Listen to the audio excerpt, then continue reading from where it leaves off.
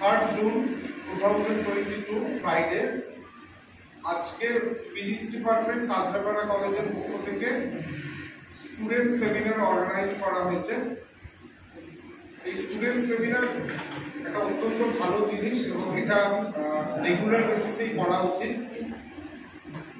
এটা করলে যেটা হয় যে স্টুডেন্টরা তাদের যে রোজকার যে নর্মাল কোর্সের পড়াশোনা তার বাইরেও নতুন কিছু একটা করার সুযোগ পায় টু থাউজেন্ড এটা আমরা একবার চালু করেছিলাম।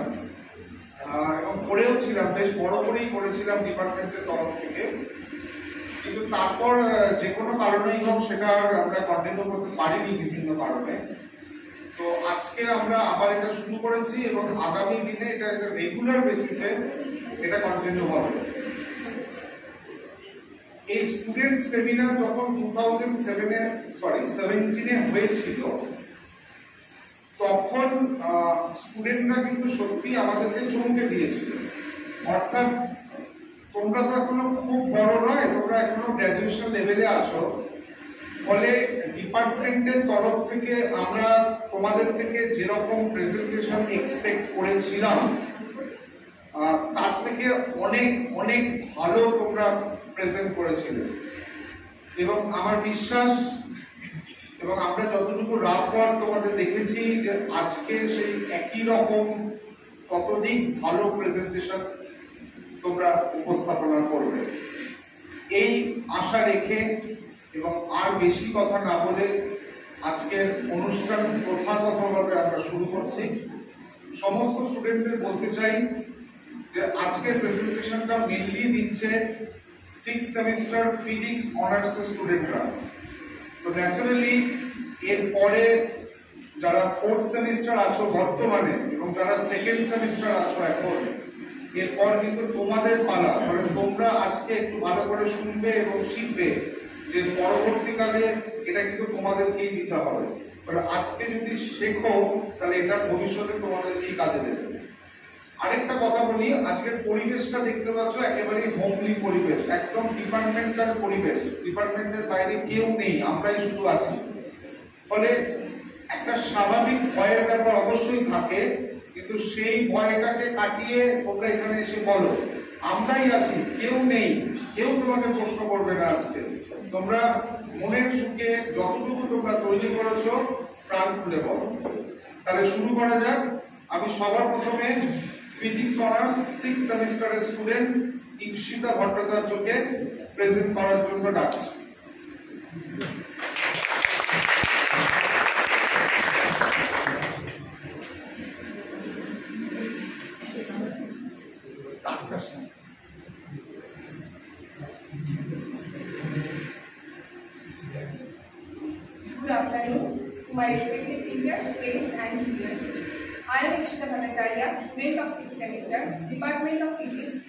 Kachapara College. I am here to give you all a small presentation on polarization of light and its use in photography. We all know that light is an electromagnetic transverse wave. অর্থাৎ আলোর যে electric field oscillation আর magnetic field oscillation পরস্পরের সাথে perpendicular করে অবস্থান করে আর আলোর যে ডিরেকশন অফ প্রোপাগেশন তার সাথেও এই অসিলেশনগুলো পারপেন্ডিকুলারলি অবস্থান করে এই ছবিটার ক্ষেত্রে যদি এটাকে ডিরেকশন অফ প্রোপাগেশন লাইনের হিসেবে কনসিডার করি, তাহলে তার সাথে নাইনটি ডিগ্রি কোণ করে ভায়োলেট কালারের অসিলেশনটা দেখতে পাওয়া যাবে, যেটা হচ্ছে ইলেকট্রিক ফিল্ড অসিলেশন আর তার সাথে আবার গ্রিন কালারের অসিলেশনটা পারপেন্ডিকুলারলি আছে, সেটা হচ্ছে ম্যাগনেটিক ফিল্ড অসিলেশন এবার পোলারাইজেশন অফ লাইট করার ক্ষেত্রে আমরা সবার আগে যেটা জানব সেটা হচ্ছে আনপোলারাইজড আর পোলারাইজড লাইট পোলারাইজ লাইট করার ক্ষেত্রে আমরা শুধুমাত্র ইলেকট্রিক ফিল্ডটাকেই কনসিডার করব। কারণ ইলেকট্রিক ফিল্ডই আমাদের দেখার যে অনুভূতি মানে ভিজুয়াল সেন্সেশন সেটা তৈরি করে থাকে। আনপোলারাইজ লাইট কাকে বলে?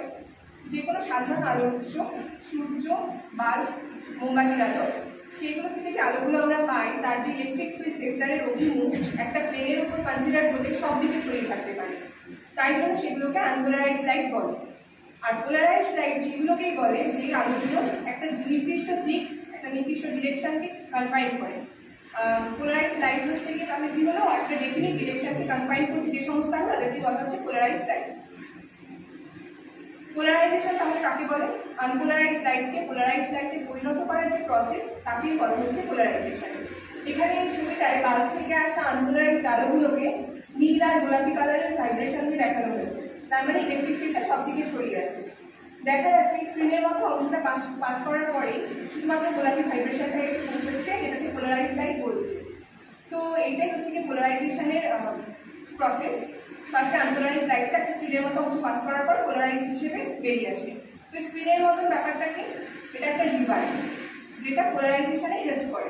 এই ডিভাইসটা পোলারাইজেশন ইউজ হয় বলে এটার নাম পোলারাইজার এখানে আনপোলারাইজ লাইটগুলোকে দেখা যাবে অ্যারো আর ডট দুটো দিয়ে ডিফাইন করা হয়েছে। অ্যারো মিনস এই প্লেনের ওপর আপার ডাউনওয়ার্ড ডিরেকশনে ভাইব্রেশনটা হচ্ছে, আর ডট মিনস ইনওয়ার্ড আউটওয়ার্ড ডিরেকশনে ভাইব্রেশন হচ্ছে। তো এই আলোটা এই আলোটা যখন ফার্স্টে পোলারাইজারের ভিতর দিয়ে এসে পড়ছে, তখন শুধুমাত্র অ্যারো বা একটা ডট হতে পারতো, যেগুলো একটা নির্দিষ্ট দিক হিসেবে এটা পোলারাইজ হয়ে বেরিয়ে আসছে এই অ্যারোটার অ্যালং যে প্লেনটা রয়েছে পিঙ্ক কালারে তাকে বলা হচ্ছে প্লেন অফ ভাইব্রেশন আর তার পার্টিকুলারলি যে ভায়োলেট কালারের প্লেনটা দেখা যাচ্ছে, সেটাকে বলা হচ্ছে প্লেন অফ পোলারাইজেশন পোলারাইজার তো ফার্স্টে ইউজ হয়েছে, তাহলে সেকেন্ডে আবার কি ইউজ হয়েছে? সেকেন্ডে সেমই একটা ডিভাইস ইউজ হয়েছে, কিন্তু সেটার কাজ হচ্ছে এই লাইটটাকে অ্যানালাইসিস করা, যে সেটা পোলারাইজ কি আনপোলারাইজ তাই জন্য এটার নাম analyser polariser analyser same device হিসেবে ইউজ হতে পারে। এবার আমরা জানি পোলারাইজেশন কয় প্রকার? তিন প্রকার দেখাই যাচ্ছে linear circular electrical linear polarisation হচ্ছে যেটা নর্মাল পোলারাইজেশন আর সার্কুলার ইলেকট্রিক্যাল হচ্ছে দুটো এরকম লিনিয়ার পোলারাইজড লাইটের সুপার ইম্পোজের ফলে যে রেজাল্টেন্ট লাইট ভেক্টরটা তৈরি হয়, সেটা যদি টাইমের রেসপেক্টে কনস্ট্যান্ট ভ্যালুতে থাকে, তাহলে একটা সার্কুলার পাথ ট্রেস আউট করে। তাই জন্য এটা সার্কুলার পোলারাইজেশন আর যদি দুটো সুপার সুপার ইম্পোজের ফলে যে রেজাল্টেন্ট লাইট ভেক্টরটা তৈরি হচ্ছে, সেটা একটা ম্যাক্সিমাম আর একটা মিনিমাম ভ্যালুর মধ্যে চলাফেরা করে তাহলে সেটাকে ইলেকট্রিক্যাল পাথ আউট করে, তার জন্য ইলেকট্রিক্যাল পোলারাইজেশন এবার পোলারাইজেশন যে রিফ্লেকশন আর রিফ্র্যাকশনের মধ্যে দিয়ে দেখা যায়, সেটা দেখব এখানে যে কাঁচের স্ল্যাবটা বলা হয়েছে, দেখানো হয়েছে, সেই কাঁচের স্ল্যাবের উপর একটা আনপোলারাইজ লাইট ইনসিডেন্ট হচ্ছে। ইনসিডেন্ট লাইট যখন একটা কাঁচের স্ল্যাবের উপর পড়ে, তখন কিছুটা অংশ রিফ্লেক্টেড হয় কিছুটা অংশ রিফ্র্যাক্টেড হয়। রিফ্লেক্টেড রেটা দেখা যাচ্ছে ফুললি পোলারাইজ হয়েছে। আর রিফ্র্যাক্টেড রেটা পার্শিয়ালি পোলারাইজ মানে অর্ধেকটা পোলারাইজ অর্ধেকটা আনপোলারাইজ এবার ইনসিডেন্ট রেটাকে একটা নির্দিষ্ট পার্টিকুলার অ্যাঙ্গেল করে ফেললেই রিফ্লেক্টেড রেটাকে ফুললি পোলারাইজড হিসেবে পাওয়া যায়। এই পার্টিকুলার অ্যাঙ্গেলকেই বলছে? অ্যাঙ্গেল অফ পোলারাইজেশন আর এই অ্যাঙ্গেল অফ পোলারাইজেশন সংক্রান্ত যে লটা রয়েছে, সেটাই হচ্ছে ব্রিস্টাস ল অ্যাঙ্গেল অফ পোলারাইজেশনের যে ট্যানজেন্ট তার মান এই রিফ্লেক্টিং মিডিয়ামের রিফ্র্যাক্টিভ ইন্ডেক্সের মানে এনে সমান এখানে এন ইকুয়ালস টু দেখা হয়েছে। এবার হচ্ছে রিফ্র্যাকশনের মাধ্যমে পোলারাইজেশন কাঁচের স্ল্যাবের রিফ্লেকশনের মাধ্যমে কীভাবে পোলারাইজ লাইট পাওয়া যাচ্ছে সেটা দেখলাম। এরকম একাধিক কাঁচের স্ল্যাবগুলোকে যদি পরপর ইউজ করা যায়, তাহলে পোলারাইজিং অ্যাঙ্গেল করে আনপোলারাইজ লাইট ইনসিডেন্ট হওয়ার পর ফার্স্টে তো রিফ্লেক্টেড হয়ে ফুললি পোলারাইজ লাইট বেরোয় এবং পার্শিয়ালি পোলারাইজ লাইট ট্রান্সমিট করে।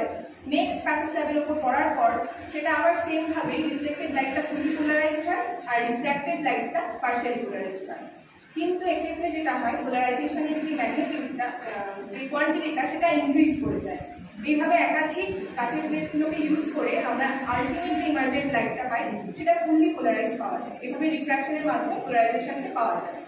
নেক্সট হচ্ছে ম্যালাস ল ম্যালাস ল বলছে যে প্লেন পোলারাইজ লাইট একটা অ্যানালাইজারের উপরে এসে যখন পড়ে তারপর সেখান থেকে যে ইমার্জেন্ট লাইটটা হয় সেটা তো অ্যানালাইসিস হয়ে গেল যে সেটা পোলারাইজ নাকি আনপোলারাইজ এবার এই অ্যানালাইজারের থেকে যে ইমার্জেন্ট লাইটটা তার যে ইন্টেন্সিটিটা সেটা অ্যানালাইজারের যে অপটিক অ্যাক্সিস থাকে, আর যে প্লেন অফ ভাইব্রেশন পিঙ্ক কালারের প্লেনটা আগের ফটোয় দেখালাম তার মধ্যেকার কোণ যদি থিটার ধরি, তাহলে সেই থিটার কোসাইন মানে কস থিটার স্কোয়ার মানে কস স্কোয়ার থিটার প্রপোর্শনাল হয়। তো প্রপোর্শনাল বলতে গেলে প্রপোর্শনালিটি কনস্ট্যান্টের প্রয়োজন হয়? সেটা এখানে আই নট হচ্ছে intensity of light emerging from polariser polariser থেকে যে লাইটটা এসে অ্যানালাইজারের উপর পড়ছে, সেটার ইন্টেন্সিটিটাই হচ্ছে আই নেক্সট হচ্ছে পোলারাইজ এই যে পোলারাইজেশন প্রসেসটা করলাম, সেটা প্রডিউস বা ডিটেক্ট করার জন্য একটা চিপ কমার্শিয়াল ডিভাইস ইউজ হয়ে থাকে। সেটাকেই পোলারাইড বলে। পোলারাইড হচ্ছে একটা লার্জ সাইজ পোলারাইজিং ফিল্ম দুটো গ্লাস প্লেটের মধ্যে দিয়ে মাউন্টেড করানো হয়। এর ইউজ কোথায়? ট্রেনের বা এরোপ্লেনের যে জানলা হয়, তার কাছে পোলারয়েড ইউজ হয়ে থাকে। অটোমোবাইল হেডলাইটসে ওয়াইন স্ক্রিনে ইউজ হয়ে থাকে। সবচেয়ে পপুলার ইউজ সানগ্লাসে পোলারয়েড সানগ্লাস এখানে তার অ্যাক্টিভিটিটা দেখানো হয়েছে।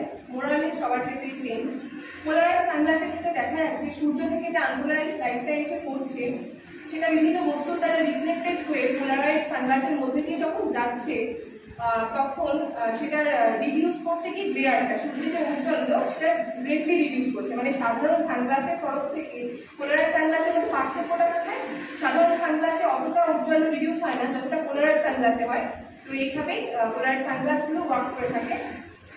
নেক্সট হচ্ছে অপটিক্যাল অ্যাক্টিভিটি অ্যান্ড পোলারিমিটার একটা প্লেন পোলারাইজ লাইট যখন কোয়ার্টজের মতন কোনো ক্রিস্টালের মধ্যে দিয়ে যায় তখন তার যে অপটিক অ্যাক্সিস থাকে, সেই অপটিক অ্যাক্সিস বরাবর লাইটটা পাস হওয়ার সময় তার যে প্লেন অফ ভাইব্রেশন যে পিঙ্ক কালারের প্লেনটা দেখিয়েছিলাম, তো সেই প্লেনটা একটু রোটেট হয়ে যায়। তো এই যে রোটেশনটা এটা নির্ভর করে ওই কোয়ার্টস জাতীয় যে ক্রিস্টালটা ইউজ হয়েছে, তার থিকনেস আর নেচারটার উপর। আর যে ওয়েভলেন্থের লাইট ইউজ হচ্ছে, সেই ওয়েভলেন্থের উপর লাইট ওয়েভলেন্থের উপর। এই যে রোটেটেড হয়ে গেল প্লেন অফ ভাইব্রেশনটা এটাকেই বলা হচ্ছে অপটিক্যাল অ্যাক্টিভিটি আর যে সমস্ত সাবস্টেন্স এই অপটিক্যাল অ্যাক্টিভিটিগুলোকে শো করছে, তাদেরকে বলা হয় অপটিক্যাল অ্যাক্টিভ সাবস্টেন্স তো পোলারিমিটার এখানে কী করছে? পোলারিমিটার হচ্ছে অ্যানাদার অপটিক্যাল ডিভাইস যেটা এই যে রোটেশনটা প্লেন অফ ভাইব্রেশনে সেটা অ্যাকুরেটলি ডিটারমাইন করছে। এখানে অপটিক্যাল অ্যাক্টিভিটির পিকচার দেওয়া আছে, যে বাল্ব থেকে আসা আনপোলারাইজ লাইট কীরকম ভাবে একটা পোলারাইজারের মধ্যে দিয়ে গিয়ে একটা অপটিক্যাল অ্যাক্টিভ সাবস্টেন্স যুক্ত নলের মধ্যে দিয়ে যখন যাচ্ছে, তখন এই ব্ল্যাক কালারের অ্যারোর জায়গাটা দেখা যাচ্ছে কীভাবে প্লেনটা বেঁকে গেছে, আগের থেকে কতটা বেঁকে গেছে। এই যে রোটেশনটা এটাই মাপছে হচ্ছে পোলারিমিটার পোলারিমিটারে আমরা দেখা যাচ্ছে লাস্টে এই যে উপরের পোলারাইজার ইউজ করছি, সেটাকে মুভ করিয়ে আমরা দেখতে পাচ্ছি যে ঠিক কতটা অ্যামাউন্টে অ্যাঙ্গেল অফ রোটেশনটা হয়েছে। এবার পোলারাইজেশন যে করলাম, তার ইউজটা কোথায়? ফটোগ্রাফি থেকে কীভাবে ইউজ করা হয় সেটা।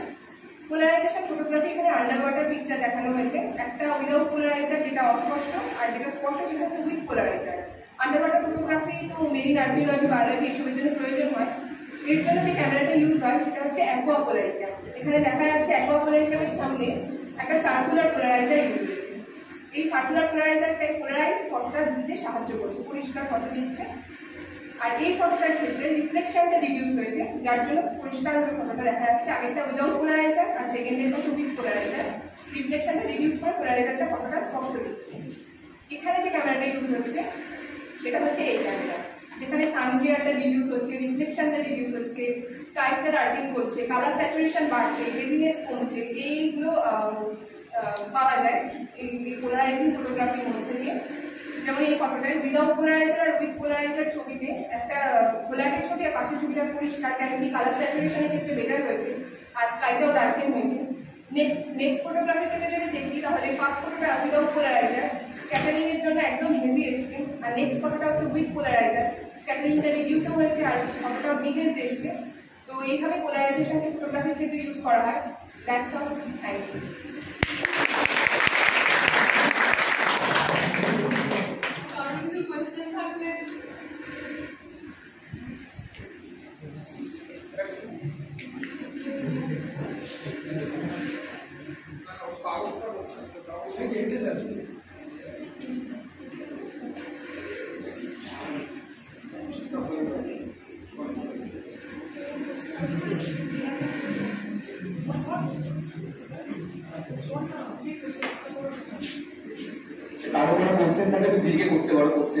question কারও যদি কোনো কোশ্চেন থাকে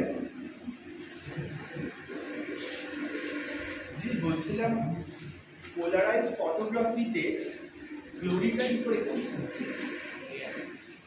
ক্লিয়ারিং ক্লিয়ার ক্লিয়ারটা কি করে করছে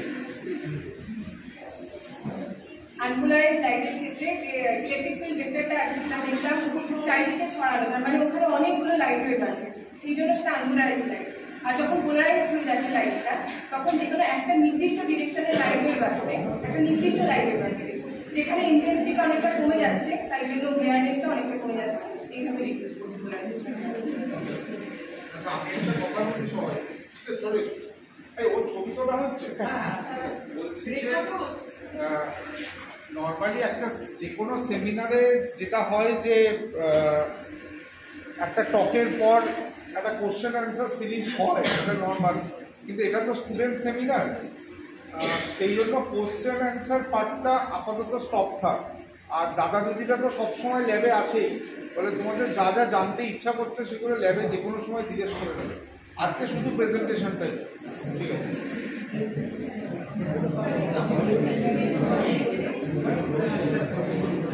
এরপরে প্রেজেন্টেশনের জন্য ডেকে নেব। সঞ্চয়টা দেখে।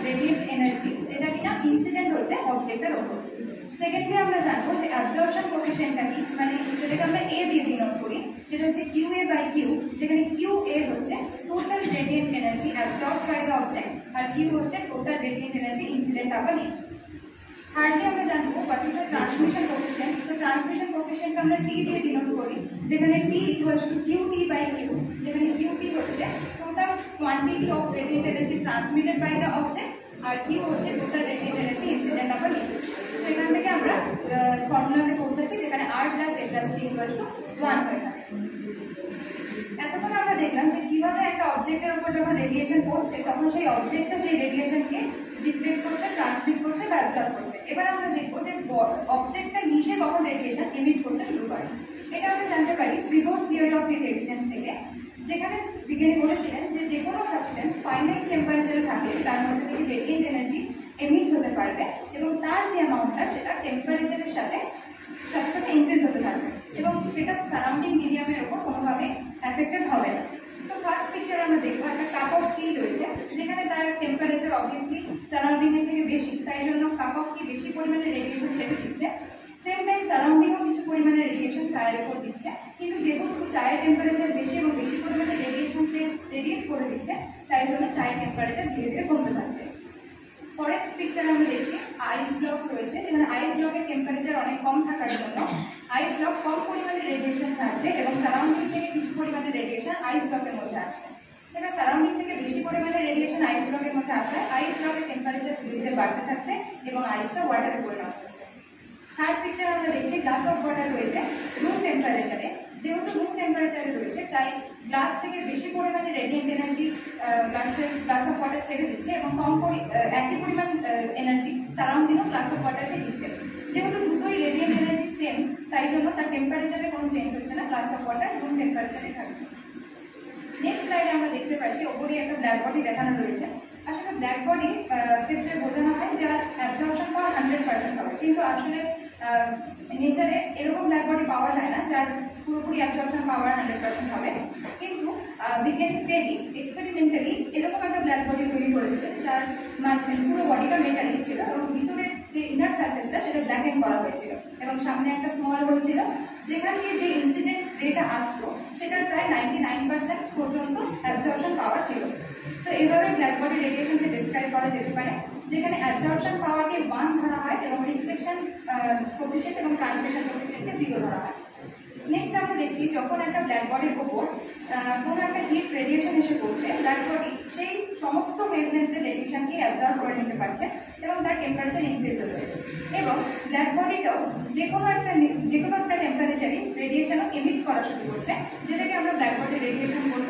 সেই ব্ল্যাক বডি রেডিয়েশনও অল পসিবল ওয়েভলেন্থে সেটা পসিবল হয়ে থাকে। এবং এই ব্ল্যাক বডি রেডিয়েশনের যে পাওয়ারটা সেটা আমরা ডিফাইন করি স্টিফেন বোলসম্যান ল এর মাধ্যমে according to Stefan Boltzmann law Q equal to sigma T to the power four হয় যেখানে টেম্পারেচারের সাথে সাথে রেডিয়েন্ট এনার্জি ভ্যালুটা বাড়তে থাকে। নেক্সট স্লাইডে আমরা দেখব কীভাবে একটা অবজেক্টের টেম্পারেচারের সাথে সাথে তার বডির কালার চেঞ্জ হচ্ছে। এটা আমরা জানতে পারি উইন্স ল মাধ্যমে। অ্যাকর্ডিং টু উইন্স ল টেম্পারেচারের সাথে সাথে ওয়েভলেন্থটা ইনভার্সলি প্রপোর্শনাল হয়। তো এখানে ফর্মুলাটা দেখানো হয়েছে ল্যামডা ম্যাক্সের ভ্যালু বি বাই টি হিসেবে যেখানে বি হচ্ছে প্রপোর্শনালিটি কনস্ট্যান্ট এবার এটাকে যদি আমরা গ্রাফে প্লট করি ওয়েভলেন্থ ভার্সেস এমিটেন্সের গ্রাফে তখন ধরা যাক যে টেম্পারেচার ফার্স্টে ফোর থাউজেন্ড কেলভিন একদম নিচের এই কার্ভটাকে দেখানো হচ্ছে এবং যখন ফোর থাউজেন্ড কেলভিন থাকছে, তখন যদি লাইটের যে, আমরা দেখতে পাচ্ছি ওয়েভলেন্থ যখন অনেক বেশি থাকছে, তখন এমিটেন্সের পরিমাণটা কম থাকছে। ধীরে ধীরে ওয়েভলেন্থ যত কমতে থাকছে ওয়েভ ল্যাম্ডা ম্যাক্সের ভ্যালুটা মানে ল্যাম্ডার ভ্যালুটা যত কমতে থাকছে এবং এভিডেন্সের ভ্যালুটা একটা পর্যায়ে গিয়ে হাইয়েস্ট হচ্ছে। তাকেই আমরা বলব ল্যাম্ডা ম্যাক্স তো এই ল্যাম্ডা ম্যাক্সের ভ্যালু যে রেঞ্জে অবস্থান করবে, সেটাই ডিফাইন করে বডিটার কালারটা কি হবে তো ল্যাম্ডা ম্যাক্সের ভ্যালু এক্ষেত্রে যেহেতু রেড রিজনে অবস্থান করছে, তাই জন্য বডিকে আমরা রেড দেখি। সেকেন্ডে টেম্পারেচার যখন বাড়িয়ে ফাইভ থাউজেন্ড কেলভিন করা হয় মানে সেকেন্ড গ্রাফটা সেক্ষেত্রে ল্যাম্ডা ম্যাক্সের ভ্যালু গ্রিন রিজনে অবস্থান করছে, তাই জন্য আমরা ব্ল্যাক বডিটাকে গ্রিন দেখছি। সেম টাইম যখন আমরা টি করছে সেভেন থাউজেন্ড কেলভিনে নিয়ে যাচ্ছি, তখন ল্যাম্ডা ম্যাক্সের ভ্যালুটা ব্লু রিজনে অবস্থান করছে, তাই জন্য আমরা ব্ল্যাক বডিকে ব্লু দেখতে পাচ্ছি। পরের স্লাইডে আমরা দেখব যখন একটা আয়রন মেটালকে আমরা ধীরে ধীরে টেম্পারেচার বাড়ানো শুরু করি, তখন তার কালারটা কীভাবে চেঞ্জ হয়? ফার্স্টে যখন তার টেম্পারেচারটা কম্পারেটিভলি কম থাকে, সেক্ষেত্রে তাকে রেড দেখতে পাবো।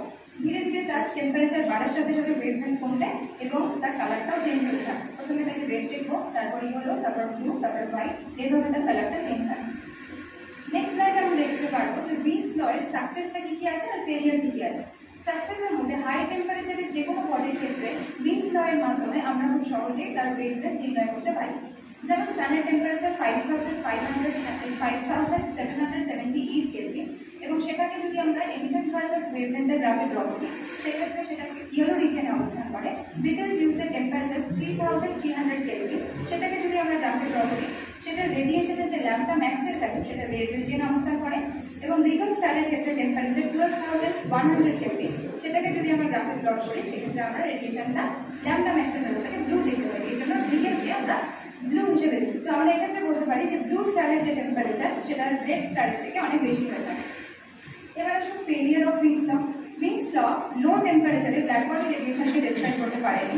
অ্যাকর্ডিং টু ল যেহেতু ল্যাম্ডা ম্যাক্সের ভ্যালুটা টি এর সাথে ইনভার্সলি প্রপোর্শনাল হয়, তাহলে যদি টেম্পারেচারের ভ্যালু কমতে কমতে একসময় জিরো কেলভিনে পৌঁছায়, সেক্ষেত্রে ল্যাম্ডা ম্যাক্সের ভ্যালু ইনফিনিটি হয়ে থাকে।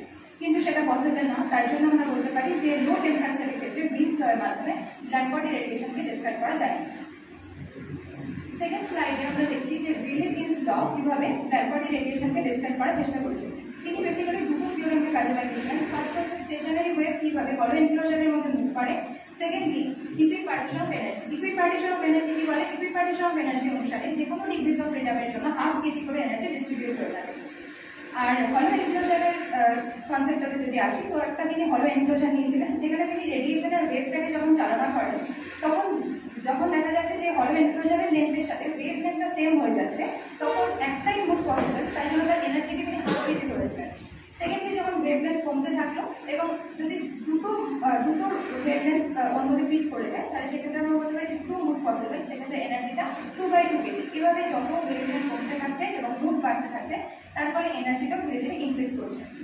এভাবে আমরা যদি রিলেটিভ লকে গ্রাফে প্লট করি, সেক্ষেত্রে দেখব যে একটা নির্দিষ্ট ওয়েভলেন্থের পর ওয়েভলেন্থটা কমতে কমতে এনার্জিটা ইনফিনিটিভ দিকে চলে যাচ্ছে। যেমন ইউভি রে এক্স রে এবং গামারের ক্ষেত্রে ওয়েভলেন্থ যত খুবই কম হয়। সেক্ষেত্রে তার রেডিয়েন্ট এনার্জি প্রায় ইনফিনিটিভ চলে যায় অ্যাকর্ডিং টু রেডিয়েন্স ল কিন্তু সেটা পসিবল নয়। তাই জন্য এই ঘটনাকে বলা হয় আলট্রাভায়োলেট ক্যাটাস্ট্রফি এবং বলা যায় যে রিলেজেন্স ল খুব স্মল ওয়েভলেন্থের ক্ষেত্রে ব্ল্যাক বডি রেডিয়েশনকে ডিসক্রাইব করতে পারে।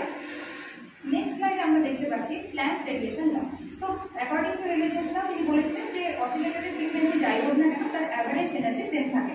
কিন্তু প্ল্যান্ট বলেছিলেন, যে যদি তার ফ্রিকোয়েন্সি চেঞ্জ হয়, তার সাথে সাথে তার অ্যাভারেজ এনার্জিও চেঞ্জ হবে। যেমন, যদি কোনো অসিলেটরের অসিলেটিভ ফ্রিকোয়েন্সি নিউ হয়, সেক্ষেত্রে তার energy integral multiple of H nu হবে দ্যাট ইজ এই ইকুয়াল টু এইচ নিউ এখানে আমরা এনার্জি ডেন্সিটির ভ্যালুটাকে দেখানো হয়েছে যেখানে H equal to Planck constant next আমরা দেখব, এবার যদি আমরা প্ল্যান রেডিয়েশন লকে গ্রাফে প্লট করি, তাহলে কি হবে?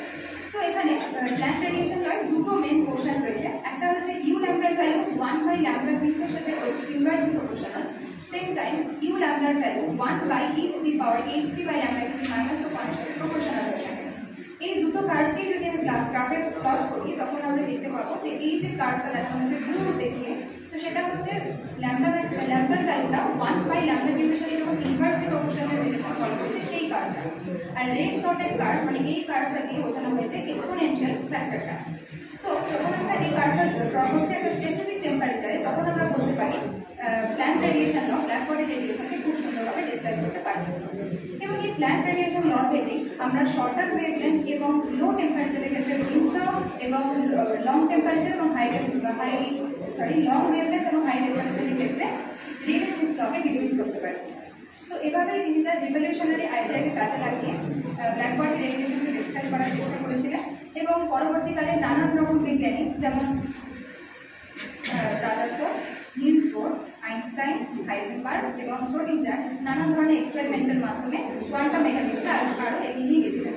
তো প্ল্যান অ্যাকচুয়ালি যেটা বলেছিলেন যে এনার্জি কখনোই ব্ল্যাক বডি থেকে কন্টিনিউয়াস ফর্মে রিলিজ হয় না। সেটা ডিসক্রিট ভ্যালুতে রিলিজ হয় তো এই জন্যই পরবর্তীকালে কোয়ান্টা অফ লাইট আবিষ্কারের জন্য নাইনটিন এইটিনে প্ল্যানকে নোবেল পুরস্কারে ভূষিত করা হয়। That's all for today thank you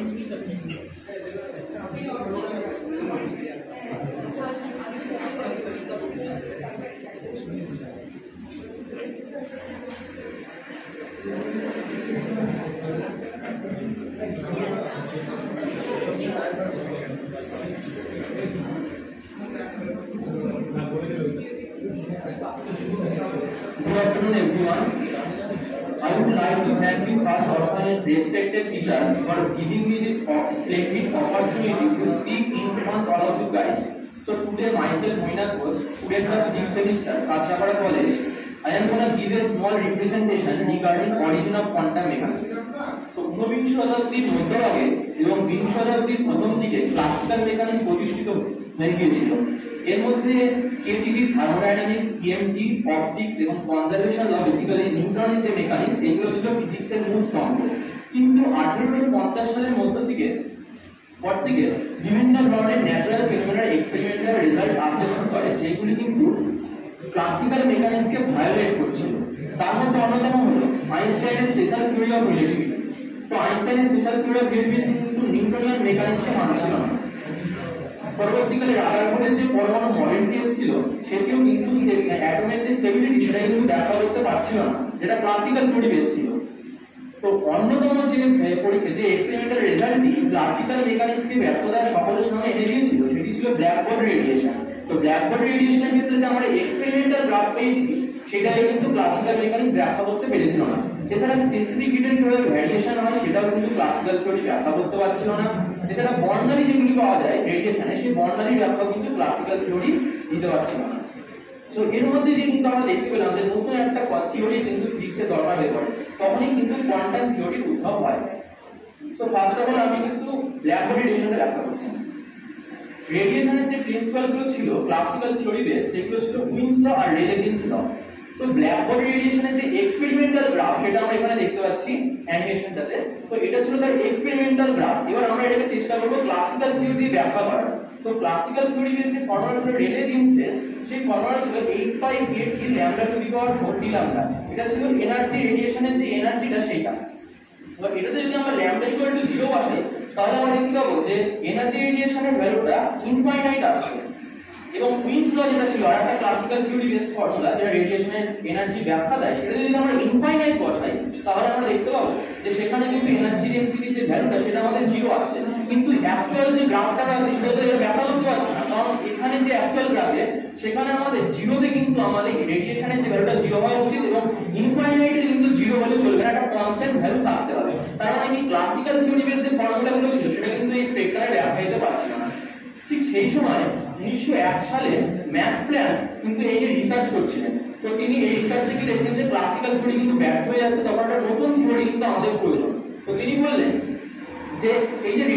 হয় এই রেডিয়েশনটা কিন্তু অ্যাকচুয়ালি কন্টিনিউয়াস হয় না। এই রেডিয়েশনটা কতগুলো ছোট ছোট ওয়েভ প্যাকেটের আকারে হয় এবং এই প্রত্যেকটি বন্ডের আলোর ক্ষেত্রে একটা নির্দিষ্ট ওয়েভ ফ্রিকোয়েন্সি প্যাকেট থাকে। তো অবভিয়াসলি থিওরি দিলে আমরা থিওরিটাকে ব্যাখ্যা করতে হবে এবং তার মাধ্যমে কিন্তু এই সিদ্ধান্তে বোঝা যাবে যে থিওরিটা কিন্তু ওই গ্লাভটাকে ব্যাখ্যা করতে পারছে কিনা। তো তিনি এবিসি যে ফর্মুলা দিয়েছিলেন যে ফর্মুলাটি E proportional to nu wave প্যাকেটের ফ্রিকোয়েন্সি নিউ তার এনার্জি হচ্ছে ই হয় এবং এক্ষেত্রে তিনি হেল্পিং কনস্ট্যান্ট হিসাবে এইচ ধরেছিলেন। এবং এই হেল্পিং কনস্ট্যান্টের ভ্যালু তিনি ট্রায়াল এরর মেথডের মাধ্যমে যে ভ্যালুটা পেয়েছিলেন 6.626 into 10 to the minus 34 joule into second তো তিনি এর বেসিসে যে রেডিয়েশনের যে ফর্মুলাটা এনেছিলেন, সেই ফর্মুলা ছিল 8 by 8 c lambda to the 5 into 1 by exponential 8 c get e lambda minus 1 তো এই তিনি দেখলেন যে এই গ্রাফটা কিন্তু পুরোপুরি সঠিকভাবে মিলে গ্রাফটা তিনি দিতে পারছেন।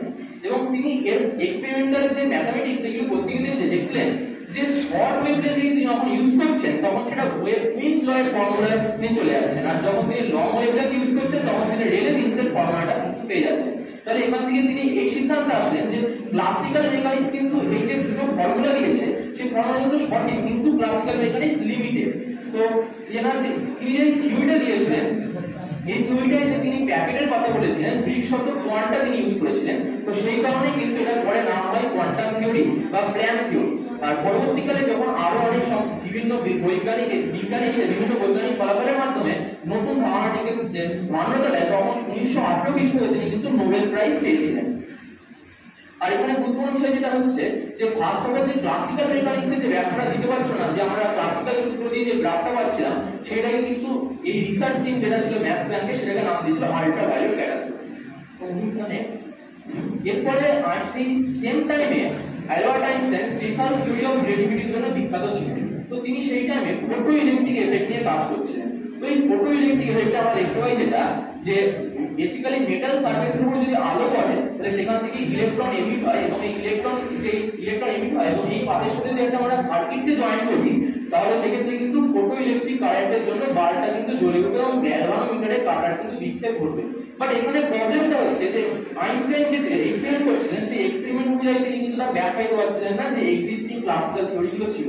কারণ ক্লাসিক্যাল থিওরি আমাদের বলে যে ইন্টেন্সিটি যত বেশি হবে, তাহলে কিন্তু সেক্ষেত্রে আমরা ফটো ইলেকট্রিক কারেন্ট আমরা বেশি পাবো। কিন্তু অ্যাকচুয়ালি তা হচ্ছিল না। কারণ অ্যাকচুয়ালি তিনি দেখছিলেন যে ফ্রিকোয়েন্সির সাথে কিন্তু ডিপেন্ড করছে। ফ্রিকোয়েন্সি একটা পার্টিকুলার রেঞ্জ আছে, তার থেকে বেশি অথবা তার সমান হলে তখনই কিন্তু আমরা ইলেকট্রিক এফেক্টের যে ফটো কারেন্টের থেকে বারটা কিন্তু চলছে তো এর বেশি তিনি তাহলে এখানটায় কি করলেন? একটা নতুন থিওরি দিলেন, যেটা অ্যাকচুয়ালি প্ল্যান সেই সময় যে থিওরিটা ইউজ করেছিল, সেই থিওরিটা থেকে তিনি একটা নতুন থিওরি একটু ডিফারেন্স ভাবে দিলেন। তো এখানে একটা কথা বলা উচিত যে নিউটন কিন্তু কর্পাসকুলার থিওরি দিয়েছিল যেটাতে লাইটকে কণা হিসেবে ধরেছিল। কিন্তু সেটার মাধ্যমে তিনি কেবলমাত্র দুটো ফেনোমেনাকে ব্যাখ্যা করতে পেরেছিলেন, একটা প্র- প্রতিফলন আর একটা প্রতিসরণ এবং অ্যালবার্ট আইনস্টাইন ছিল দ্বিতীয় জন যিনি এক্ষেত্রে আবার লাইটকে কণা হিসেবে তিনি বললেন যে এটা ওয়েভ প্যাকেট না, এটা হচ্ছে কণার সমষ্টি। সমশক্তি সম্পন্ন কতগুলো প্রোটন কণা স্রোত একটা পার্টিকুলার ফ্রিকোয়েন্সি বন্ডের লাইটকে কিন্তু রিপ্রেজেন্ট করে এবং তাদের এনার্জি কিন্তু ফিক্স থাকে, যেহেতু তাদের ফ্রিকোয়েন্সিটা ফিক্স থাকে। এবং একটা পার্টিকুলার মেটেরিয়ালের যদি আমরা ধাতব পদার্থ ইউজ করি, তার কিন্তু একটা পার্টিকুলার কিন্তু ফ্রিকোয়েন্সি থাকবে যে ফ্রি ইলেকট্রনগুলোর শক্তি। তো সেই এনার্জি যেটা তার সাথে রিলেটেড সেটা হচ্ছে ওয়েভ ফাংশন তো এই ওয়েভ ফাংশনের থেকে বেশি পরিমাণ যদি সমান পরিমাণ শক্তি দেওয়া হয়, তাহলে সেক্ষেত্রে শুধুমাত্র ইলেকট্রনগুলো এমিট করতে পারবে। এবং যদি তার থেকেও বেশি দেওয়া হয়, তাহলে এমিট করার পরে বাকি যে এনার্জিটা সেটা কাইনেটিক এনার্জি রূপে কিন্তু তাকে অপর কাজের মধ্যে দিয়ে ইলেকট্রিক এফেক্ট ঘটাতে সক্ষম হবে। তো এর মাধ্যমে কিন্তু তিনি দেখলেন যে প্রথম কিন্তু এটা দেখা গেল যে ক্লাসিক্যাল থেকে আবার এবং এক্ষেত্রে লাইটকে কিন্তু প্রথম পার্টিকেল হিসাবে কিন্তু ধরে নেওয়া। তো এটার জন্য পরবর্তীকালে উনিশশো একুশ খ্রিস্টাব্দে নোবেল প্রাইজও পেয়েছিলেন।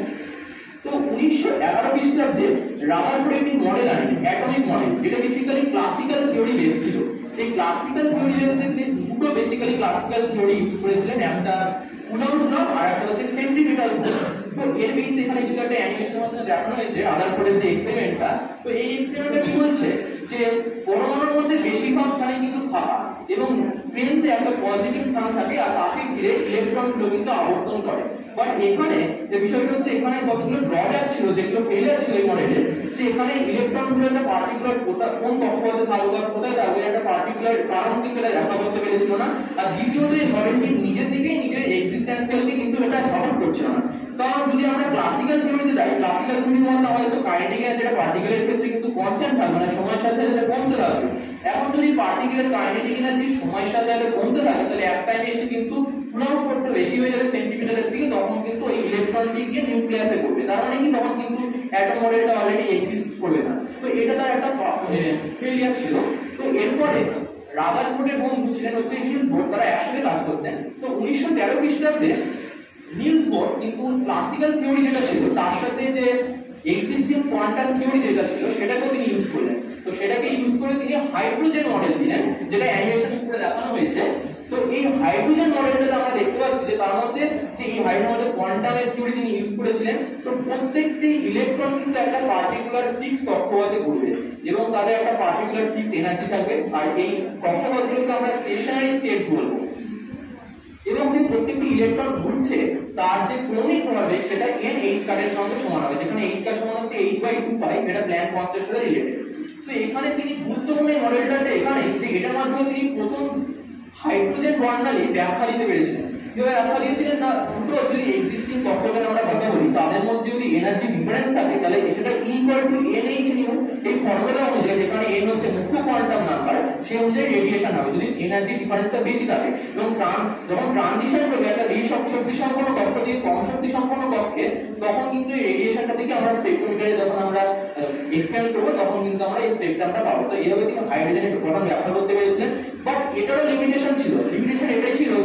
এই থিওরি কিন্তু ক্লাসিক্যাল আর কোয়ান্টাম আইডিয়া কিন্তু মিক্স আপ করে দিয়েছিল।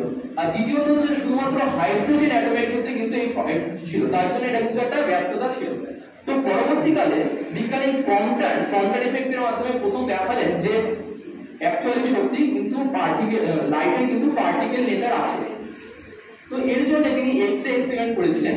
তো এক্স রে হচ্ছে কিন্তু অ্যাকচুয়ালি এটা লাইটেরই কিন্তু ডিফারেন্ট ফ্রিকোয়েন্সি প্রোটনের সমষ্টির একটা রেডিয়েশন তো এই রেডিয়েশনকে যখন পাঠানো হয়, তখন দেখা যায় যে রেডিয়েশনটা একটা পার্টিকুলার অ্যাঙ্গেলে স্ক্যাটার করছে আর ইলেকট্রন একটা পার্টিকুলার রিকয়েল অ্যাঙ্গেলে কিন্তু রিকয়েল হয়ে যাচ্ছে।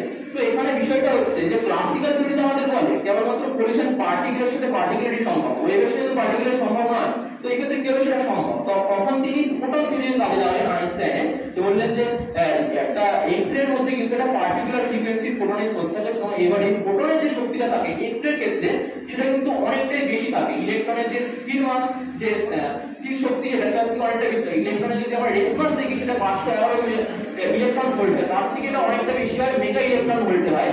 যার ফলে ইলেকট্রনটা কিন্তু যেমন প্রোটনের সামনে একটা ফ্রি পার্টিকেল হিসেবে আচরণ করে, আর যার ফলে এই কলিশনটা হয়, এবং তার মাধ্যমে কিন্তু বিভিন্ন অ্যাঙ্গেলরা স্ক্যাটার হয়ে যায়। এই এক্সপেরিমেন্টটা প্রথম ছিল, যেখানে কিন্তু প্রমাণ হয় যে রেডিয়েশনটা কিন্তু অ্যাকচুয়ালি যে লাইটে তার মধ্যে কিন্তু পার্টিকেল নেচারটা আছে, এবং প্রোটনটা কিন্তু এটা এক্সিস্ট করছে।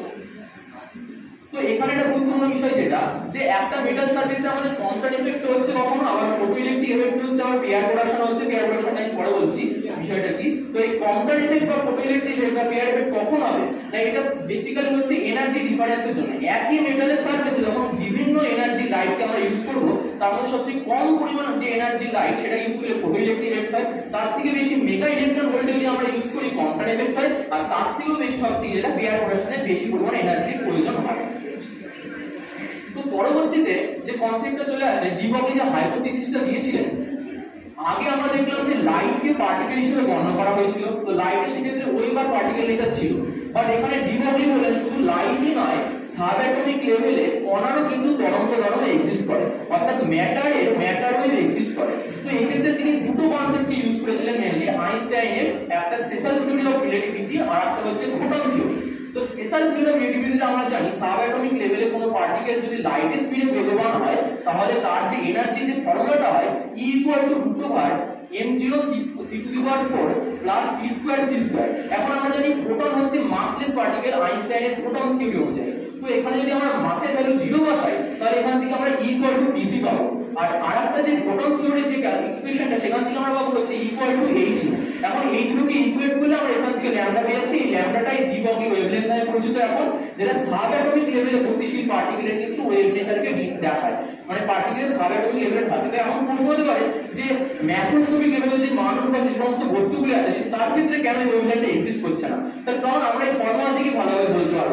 এই ফর্মুলা যদি আমরা মাসের ভ্যালু বসাই বড় ম্যাক্রোস্কোপিক অবজেক্ট তাহলে কিন্তু সেক্ষেত্রে একটা জিরো দিয়ে অ্যাকচুয়ালি ভ্যালুটা চলে যাবে। তার মানে কি ওয়েভলেন্থটা কিন্তু মাইক্রোস্কোপিক লেভেলে এক্সিস্ট মাইক্রোস্কোপিক লেভেলে এক্সিস্ট করছে, কিন্তু ম্যাক্রোস্কোপিক লেভেলে এক্সিস্ট করছে না। কারণ খুবই কম, সেটা যদি একটা ফাইনাইট হবে তো এই কারণে এটা কেবলমাত্র কিন্তু সাব লেভেলে এক্সিস্ট করছে।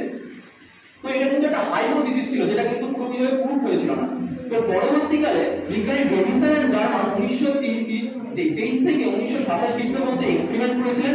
সেই এক্সপেরিমেন্টের মাধ্যমে দেখালেন যে সাবঅ্যাটমিক লেভেলে কেবলমাত্র লাইটেরই নয় যে কোনো লেভেলে পার্টিকেলও কিন্তু ওয়েভ এক্সিস্ট করছে। তারা যে এক্সপেরিমেন্টাল যে ইনস্ট্রুমেন্ট ইউজ করেছিলেন সে তিনি একদম ইয়ং ডাবল স্লিট এক্সপেরিমেন্টের মধ্যে একটা এক্সপেরিমেন্ট করেছিলেন, যেখানে প্রথমে ইলেকট্রন বিম ইউজ করে অনেকগুলি ইলেকট্রনকে পরপর পাঠানো হয়েছিল। তো সর্বদাই তারা ভেবেছিলেন যে একসাথে যখন অনেকগুলি ইলেকট্রন পাঠানো হচ্ছে, তখন নিশ্চয়ই তাদের সুপারপোজিশনের ফলে আমরা ডিফ্র্যাকশন প্যাটার্নটা পাচ্ছি। যেটা অবভিয়াসলি একটা ওয়েভের ধরন। বাট যখন তারা দেখলেন যে একটা করে যখন পার সেকেন্ড ইলেকট্রন পাঠাচ্ছে তার কিন্তু ডিফ্র্যাকশনের গ্রাফ পাওয়া যাচ্ছে তখন তারা এই সিদ্ধান্ত নিলেন সাবঅ্যাটমিক লেভেলেও কিন্তু ওয়েভ নেচার এক্সিস্ট করে। তো এখান থেকে কিন্তু হাইপোথিসিসটা প্রমাণ হয়ে গেল। আর সেই কারণে উনিশশো উনত্রিশ সালে কিন্তু ডিবংলি নোবেল পুরস্কার পেয়েছিলেন। হচ্ছে হাইজেনবার্গের আনসার্টেনিটি প্রিন্সিপাল হাইজেনবার্গের আনসার্টেনিটি প্রিন্সিপালটা কি বলছে? যে সাবঅ্যাটমিক লেভেলে বিদ্যমান পার্টিকেলের ক্ষেত্রে, যদি আমরা দেখি, সেই পার্টিকেলের কিন্তু পজিশন আর মোমেন্টামকে আমরা এররলেসলি একসাথে ক্যালকুলেট করতে পারব না। সেখানে কিন্তু একটা আনসার্টেনিটি থেকে যাবে। আর সেই আনসার্টেনিটি ভ্যালুটা কিন্তু আমাদের এইচ কার্ডের সাথে সমান এখন বিষয়টা ভালো করে বোঝার জন্য আমরা দেখব এখানটায় যে প্রথমে আমি দেখব যে প্লেন ওয়েভ আছে। তো plane wave actually minus infinity থেকে প্লাস ইনফিনিটি পর্যন্ত বিস্তৃত থাকে। তো এর ক্ষেত্রে কিন্তু এই যে minus infinity to plus infinity তো এর মধ্যে যে পার্টিকেলের অসিলেটর হওয়ার যে রেঞ্জটা মানে ডেল এক্সটা পজিশনের রেঞ্জ যেটা উপরে গ্রিন কালারে যে এটা দেখানো হয়েছে, তো এই ক্ষেত্রে এই এক্সটা কিন্তু মাইনাস ইনফিনিটি প্লাস ইনফিনিটি যে কোনো জায়গায় থাকতে পারে। তার মানে কি আমরা ফিক্স হিসেবে বলতে পারব না। এটা আনসার্টেনিটি চলে আসছে। বাট যে স্পিড যেটা মোমেন্টামের সাথে রিলেটেড সেটা স্ট্যান্ডিং ওয়েভের ক্ষেত্রে কিন্তু একটা পার্টিকুলার ফিক্স ভ্যালু থাকে, যেটা আমরা কিন্তু সার্টেনলি মাপতে পারব। এবার যদি আমরা এগুলোকে সুপার ইম্পোজ করি, তাহলে কিন্তু আমরা একটা ওয়েভ প্যাকেট পেয়ে যাই। ওয়েভ প্যাকেটের নিচে লাল রঙে দেখানো হয়েছে এখানটায়। তো ওয়েভ প্যাকেটটাকে দেখা যাচ্ছে যে ওয়েভ প্যাকেটের স্পিডটা কিন্তু অনেকটাই বেশি হয় যেটা কিন্তু আমরা মোমেন্টামের যে আনসার্টেনিটি সেখান থেকে চলে আসে। বাট এখান থেকে কি হয়েছে পার্টিকেল যেটা পার্টিকেলের যে অসিলেশনের মধ্যে তার যে পজিশনের আনসার্টেনিটি সেটা কিন্তু ফিক্স আছে। তো তার মানে এখানে আমরা ডেল এক্সটা ফিক্স করবে আছে কিন্তু ডেল বিটা মাপতে পারছি না। তাহলে এইখান থেকে সিদ্ধান্তে কি আসা যাচ্ছে যে যখন আমরা ডেল এক্স তাকে সার্টেন করছি তখন ডেল বিটা আনসার্টেন হয়ে যাচ্ছে, আর যখন ডেল বিটা আনসার্টেন করছে, তাই আমি ফিক্স করছি, তখন ডেল এক্স আনসার্টেন হয়ে যাচ্ছে। তাহলে সেখানে কিন্তু আনসার্টেন থেকে যাচ্ছে, দুটো কিন্তু সাইমultaneous কিন্তু একই টাইমে কিন্তু আমরা ক্যালকুলেট করতে পারছি না, আর এই আনসার আনসার্টেনিটি ভ্যালুটা কিন্তু এইচ কার্ডের সাথে সমান হবে। তো এই যে উনিশশো সাল থেকে উনিশশো সালের মধ্যে এটা ছিল ওল্ড কোয়ান্টাম এরা এরপরে আমরা চলে আসছি মডার্ন কোয়ান্টাম এরা তো মডার্ন কোয়ান্টাম এরা উনিশশো ছাব্বিশ থেকে শুরু হয়, যেখানে প্রথম সোডিকের অবদান খুবই গুরুত্বপূর্ণ। তিনি উনিশশো ছাব্বিশ সালে ওয়েভ ওয়েভ মেকানিক্স দিয়েছিলেন, যেটা ম্যাথমেটিক্সে এক্সিস্টিং যে ওয়েভ প্রপার্টিসের যে ক্যালকুলেশন তার বেসে তিনি এই থিওরিটা দিয়েছিলেন। তো এই থিওরি অনুযায়ী তিনি বললেন কিনা যে ম্যাটার ওয়েভ আছে, সেই ম্যাটার ওয়েভকে ওয়েভ ফাংশন বা সাই দিয়ে প্রেজেন্ট করেছিলেন।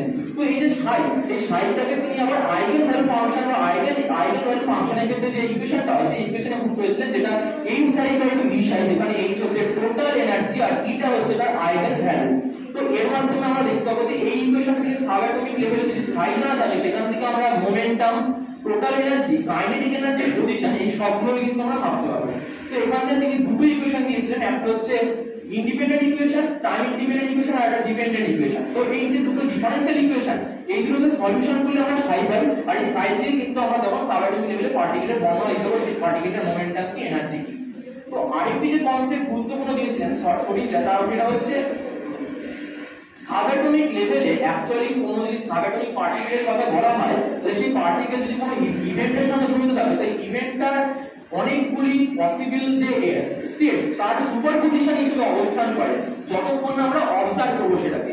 তো তার related Schrödinger cat concept Schrödinger cat concept অনুযায়ী যে একটা যদি বাক্স না হয়, সেখানে যেটা বিড়ালকে না হয় এবং সেখানে যদি একটা একটা বিষাক্ত রেডিয়েটেড মেটেরিয়াল সাবস্টেন্স নিয়ে বাক্সটিকে বন্ধ করে দেওয়া হয়, তাহলে আমাদের অবজারভেশনের পূর্বে কিন্তু দুটোই প্রবাবিলিটি থাকে যে বাক্সটা খোলার পরে দেখব বিড়ালটা মারা গেছে অথবা বেঁচে আছে। তো এক্ষেত্রে দেখা যাচ্ছে কি সাই ডেথ এবং সাই অ্যালাইভ এই সুপার পজিশন হিসাবে জেনারেল সাইডে কিন্তু এক্সিস্ট করছে। ঠিক তেমনি ভাবে আমি যদি নিচে আরেকটা জায়গায় দেখাই এক্সাম্পল এক্সাম্পল হিসাবে এটাকে, যে একটা ছেলে স্কেট করছে। তো এখানে এই খেলাটা যদি একটা দর্শক বাইরে থেকে দেখে, তো এক্ষেত্রে যতক্ষণ না একটা দর্শক দেখছে, ততক্ষণ কিন্তু জিরো অথবা ওয়ান যে কোনো পজিশনে থাকার প্রবাবিলিটি ফিফটি ফিফটি থাকে। বাট এই কেসটার ক্ষেত্রে যখন একটা অবজারভার দেখছে, এখানে যেমন এই কেসটার ক্ষেত্রে দেখার পরে দেখছে এক নম্বরে চলে তার মানে কি ওয়েভ ফাংশনটা ফার্স্টে বিভিন্ন স্টেটে সুপার পজিশন হিসেবে থাকে, যখন আমরা অবজার্ভ করি সেটা কোলাপস করে একটা পার্টিকুলার কেস চলে আসে।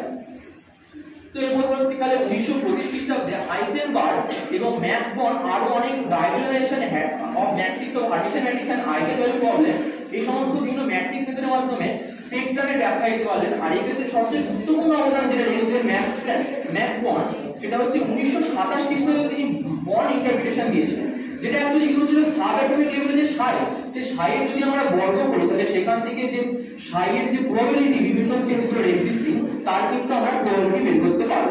তো এখানে সেই গ্রাফটা দেখানো হয়েছে যে বিভিন্ন স্টেটের যে প্রবাবিলিটি সেই প্রবাবিলিটি গ্রাফটা কেমন হবে? তো এরপরে উনিশশো আঠাশ খ্রিস্টাব্দে আমরা সকলে নাম শুনেছি ডিডাক ডেল্টা। তো বিজ্ঞানী পল ডিরাক উনিশশো আঠাশ খ্রিস্টাব্দে কিন্তু আইনস্টাইনের যে স্পেশাল ফিল্ড অফ রিলেটিভিটি সেটা ইউজ করে ডিরাক রিলেটিভিস্টিক ইকুয়েশন দিয়েছিলেন যে ইকুয়েশনটা কিন্তু প্রেডিকশন করছিল যে সাবঅ্যাটমিক লেভেলে শুধু ইলেকট্রন আর নিউট্রন এই জাতীয় পার্টিকেলই নয় অ্যান্টি ম্যাটার পার্টিকেলও কিন্তু এক্সিস্ট করছে। যেমন পজিট্রন পজিট্রনের তিনি প্রেডিকশন করেছিলেন যে পজিট্রনটা ইলেকট্রনের মতো সেম বাট তার চার্জটা ডিফারেন্ট এছাড়া তার অবদান ছিল তিনি ব্রা অ্যান্ড কেল ভেক্টর এনেছিলেন, যেগুলো আমাদের ক্যালকুলেশনের সুবিধা করেছিল ওয়েভ ফাংশনের ক্ষেত্রে। এছাড়া মোমেন্টাম অপারেটরস এর ওয়েভ ফাংশন সবই তার অবদান। আর এই ক্ষেত্রে বলব যে পেয়ার প্রোডাকশন জিনিসটা কি? তো পেয়ার প্রোডাকশন জিনিসটা হচ্ছে একটা একটা ফিক্স এনার্জি পার্টিকেল সব থেকে বেশি এনার্জি লাগছে যেই ফোটনটার জন্য, সেই ফোটনের যদি রেডিয়েশন আমরা ইউজ করি নিউক্লিয়াসে তাহলে নিউক্লিয়াসের কোলাইডেশন দুটি পার্টিকেলের জন্ম দেবে ইলেকট্রন আর পজিট্রন তো এইটা হচ্ছে অ্যান্টিম্যাটার পার্টিকেলের যেটা প্রেডিকশন সেটা উনিশশো ছত্রিশ খ্রিস্টাব্দে আমেরিকান বিজ্ঞানী অ্যান্ডারসন কিন্তু প্রমাণ করে, যার ফলে তিনি নোবেল পুরস্কার পান। তো এইভাবে কিন্তু ওল্ড কোয়ান্টাম মেকানিক্স থেকে আমরা মডার্ন কোয়ান্টাম মেকানিক্সে চলে আসব। এবং মডার্ন কোয়ান্টাম মেকানিক্সের যে গুরুত্বপূর্ণ বিষয়গুলো বর্তমানের সময় যে atomic physics particle physics nuclear physics high energy physics statistical যে সবগুলো কিন্তু এই কোয়ান্টাম মেকানিক্সের উপর বেস তো অবশ্যই যেটা বলছি, যেটা রিসেন্টলি এক্সপেরিমেন্ট চলছে কোয়ান্টাম মেকানিক্স সেটা হচ্ছে কোয়ান্টাম কম্পিউটিং নিয়ে। তো আমরা নর্মাল কম্পিউটার বা সফটওয়্যার দেখতে পাই যে যদি বিটের ধারণা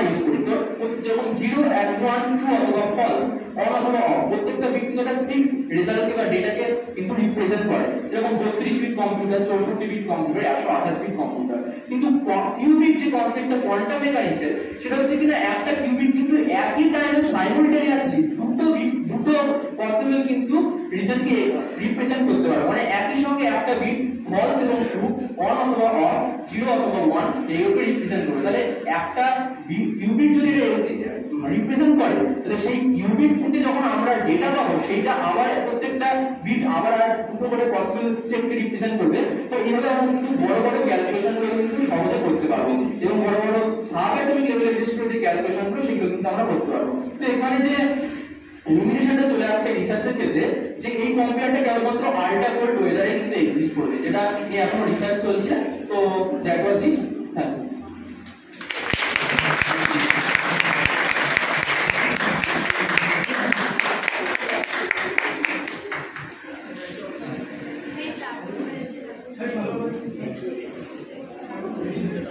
অসংখ্য ধন্যবাদ জানাই মরিয়াদাকে এরপরে প্রেজেন্টেশনের জন্য আমরা ডেকে নেব। Farkına varışıyor.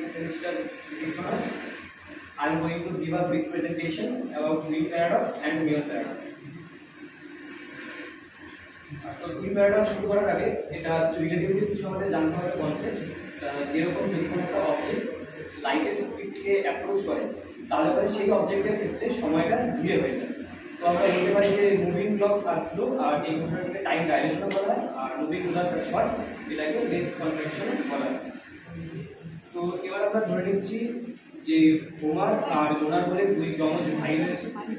তো তারা দুজন ঠিক করল যে তাদের মধ্যে একজন পৃথিবীতে থাকবে আর একজন একটা কল্পনার প্ল্যানেট যার নাম সাপোজ হলিউড তো সেইখানে যাবে। সেই আর্ট থেকে সেই প্ল্যানেট হলিউডের ডিস্টেন্স হচ্ছে দশ আলোক বছর। তো যথারীতি হোমার থাকল পৃথিবীতে আর জোনাস ট্র্যাভেল করতে শুরু করল। সেই দশ লাইট দূরে প্ল্যানেট হলিউডের উদ্দেশ্যে। আর জোনাস যে স্পেসশিপে করে যাবে, তার স্পিড থাকবে এইটি পার্সেন্ট আলোর গতিবেগে তো এটাকে আমরা জিরো পয়েন্ট এইট সি যদি লাইট যদি আমরা স্পিড অফ লাইটকে সি হিসাবে ডিনোট করি। আর আমরা ধরছি যে বিটা হচ্ছে ভেলোসিটি অফ অবজেক্ট মানে এক্ষেত্রে লোনারের যে বেশি তার সঙ্গে আলোর গতিবেগের কম্পারিজন সেটা। তো বিটার মান আমরা পাবো জিরো পয়েন্ট এইট আর গামা গামা হচ্ছে কোনো বস্তু যখন আলোর স্পিডে ট্রাভেল করে তো সেক্ষেত্রে সময় আর ডিস্টেন্সের মধ্যে যে প্রভাবটা পড়ে, সেটাকে আমরা বলব দাম তো যেটা আমরা বললাম, সেটাকে একটা মজাদার ছবির মাধ্যমে ডিনোট করা হয়েছে যে ওনার মার্কেট থাকছে আর ওনার একটা প্ল্যানেট হলিউডের উদ্দেশ্যে তো এবার আমরা গামায়ের মানটা বার করব। গামা বলতে এই ক্ষেত্রে আমরা বলেছি যে effect of time of space স্পেসশিপের উপর সময় যে প্রভাবটা পড়ে। তো গামার একটা সূত্র আমরা জানি যে gamma equal to one by root over one minus beta square আর এই ক্ষেত্রে বিটা হচ্ছে স্পেসশিপটার ভেলোসিটি ডিভাইডেড বাই আলোর গতিবেগ তো স্পেসশিপের ভেলোসিটি আমরা জানি around zero eighty percent of light speed বলেছি, তো জিরো পয়েন্ট এইট সি তো বিটার মান পেয়ে যাব জিরো পয়েন্ট এইট তো সেখান থেকে আমরা বিটার স্কোয়ারের মান পেয়ে যাব জিরো পয়েন্ট সিক্স ফোর আর থেকে আমরা ওয়ান পাচ্ছি জিরো পয়েন্ট থেকে জিরো পয়েন্ট ফোর পাচ্ছি জিরো পয়েন্ট তো এই ক্ষেত্রে আমরা গামার ভ্যালু যাচ্ছি অ্যারাউন্ড ফাইভ বাই থ্রি এবার আমরা পৃথিবী থেকে দেখছি, পৃথিবীর সাপেক্ষে বলছি উইদাউট রিলেটিভ তো এবার ধরছি আমরা যে পৃথিবীকে নেই, আপাতত হচ্ছে পৃথিবীকে ছবি আমরা ইনফরমেশন করার চেষ্টা করছি, যে কত সময় নিতে চলেছে। পৃথিবীর কত সময় নিতে চলেছে? আমরা জানি ভেলোসিটি ইকুয়েশন হচ্ছে x ইকুয়াল টু v তো সেখান থেকে আমরা ইকুয়াল টু x বাই করে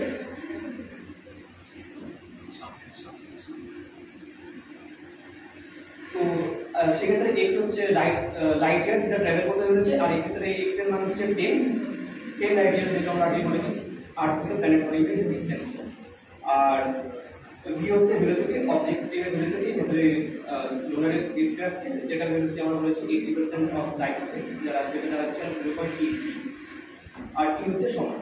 তো কত সময় চলেছে যদি আমরা বার করি, কারণ ten by zero point eight যদি করি কারণ আমরা টুয়েলভ পয়েন্ট ফাইভ ইয়ার্স মানে জিতে লাগবে টুয়েলভ পয়েন্ট ফাইভ ইয়ার্স এবং আসতে লাগবে টুয়েলভ পয়েন্ট ফাইভ ইয়ার্স দুটোকে আমরা অ্যাকাউন্ট করি, তারপরে অ্যারাউন্ড টোয়েন্টি ফাইভ ইয়ার্স লোনার নিতে চলেছে প্ল্যানেট হলিউডে যেতে সেখান থেকে ফিরতে তো এইবার আর্থের সাপেক্ষে, এবার বোমার কি দেখতে চলেছে? আর্থের ডিফারেন্সের সাপেক্ষে যদি রিলেটিভিটি চলে আসে, তাহলে ধরো বোমার দেখবে যে লোনারের ঘড়িটা স্লো চলছে যেটা আমরা আগেই বললাম, এটাকে এই ঘটনাটাকে বলা হয় টাইম ডাইলেশন যদি কোনো অবজেক্ট লাইটের স্পিডে অ্যাপ্রোচ করে।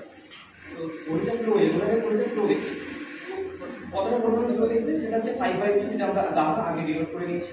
তাহলে পরে লোনারের ঘড়ির ক্ষেত্রে টোয়েন্টি ফাইভ ইয়ার্সটা দাঁড়াবে around twenty five divided by five by কারণ ফিফটি ইয়ার্স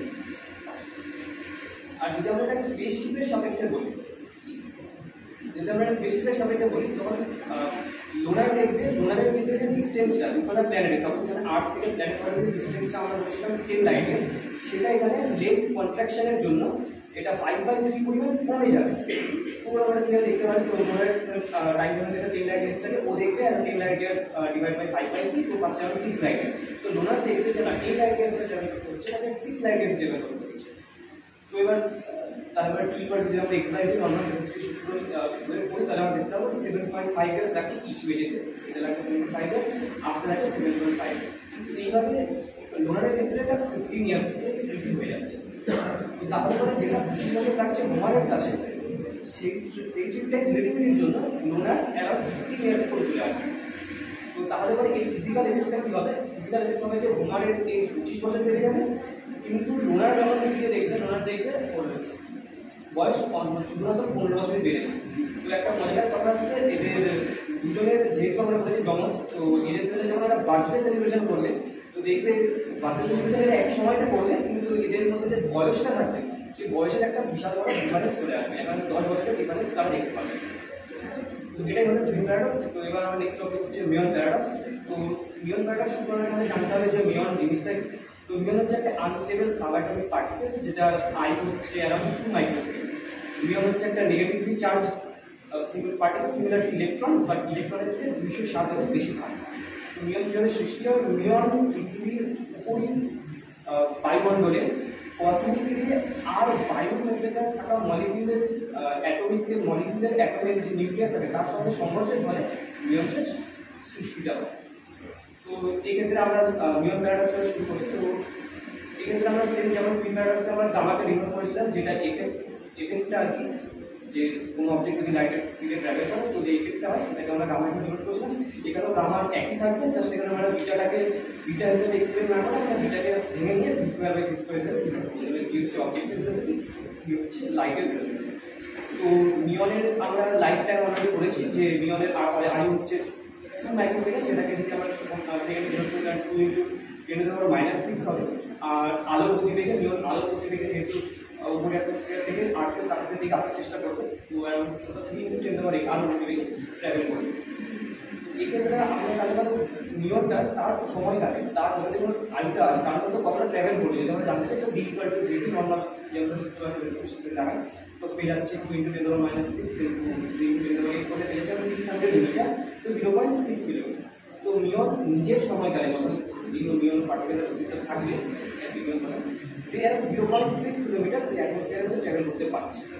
কিন্তু এইবার মজার ব্যাপার যে আমরা আগে জানি নিয়ম আপনার করে তৈরি কিন্তু অনেক ডিটেক্টর আছে ডিটেক্টরের মাধ্যমে জানা যায় যে নিয়ম কণাটা আর্থিক সার্ফেস অব্দি পৌঁছে যায় এবার সাপোজ একটা কমপক্ষে আপার অ্যাটমসফিয়ার থেকে আর্থিক আবার আপার অ্যাটমসফিয়ার থেকে সার্ফেসের ডিস্টেন্স কমপক্ষে দশ কিলোমিটার কিন্তু আমরা আগে বললাম যে নিয়ন্ত্রণ আয়ুটাকে ট্রাভেল করতে পারে জিরো পয়েন্ট সিক্স কিলোমিটার তাহলে সেটা তাহলে সেটা দশ কিলোমিটার আর্থ সার্ফেস আসছে এটাই হচ্ছে নিয়ম প্যারাডক্সের এক্সপ্লেনেশন এবার আমরা জানব এখানে আমরা রিলেটিভিটির কনসেপ্ট যে আমরা এখানে সাপোজ ধরেছি B equal to near equal to light speed যার জিরো এক্ষেত্রে আমরা গামায় একটা বার করব গামায়ের তো যেটা দাঁড়াচ্ছে ওয়ান বাই ওয়ান ওয়ান দাঁড়াচ্ছে আমরা টোয়েন্টি টু তাহলে পরে পৃথিবীর রেফারেন্স ফ্রেমের সাপেক্ষে হয়ে যাবে তামা তামা কোনো স্লো হয়ে যাবে।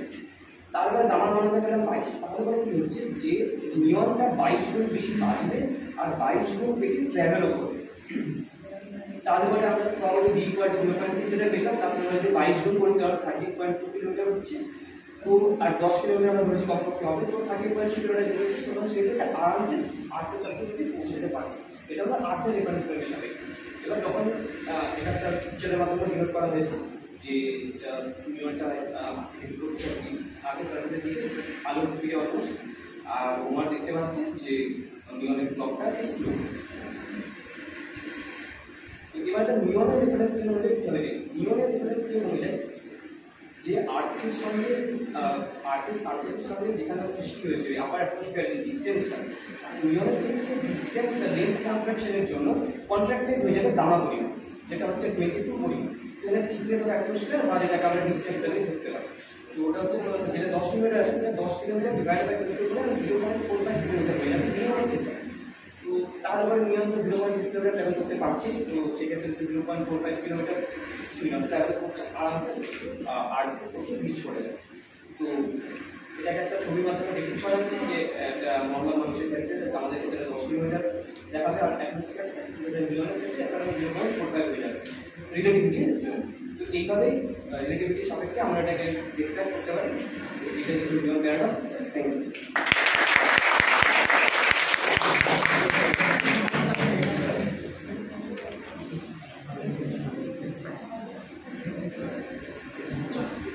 অসংখ্য ধন্যবাদ জানাই দাকে এরপরে প্রেজেন্টেশনের জন্য ডেকে নিচ্ছি দেবদূত কর্মকারকে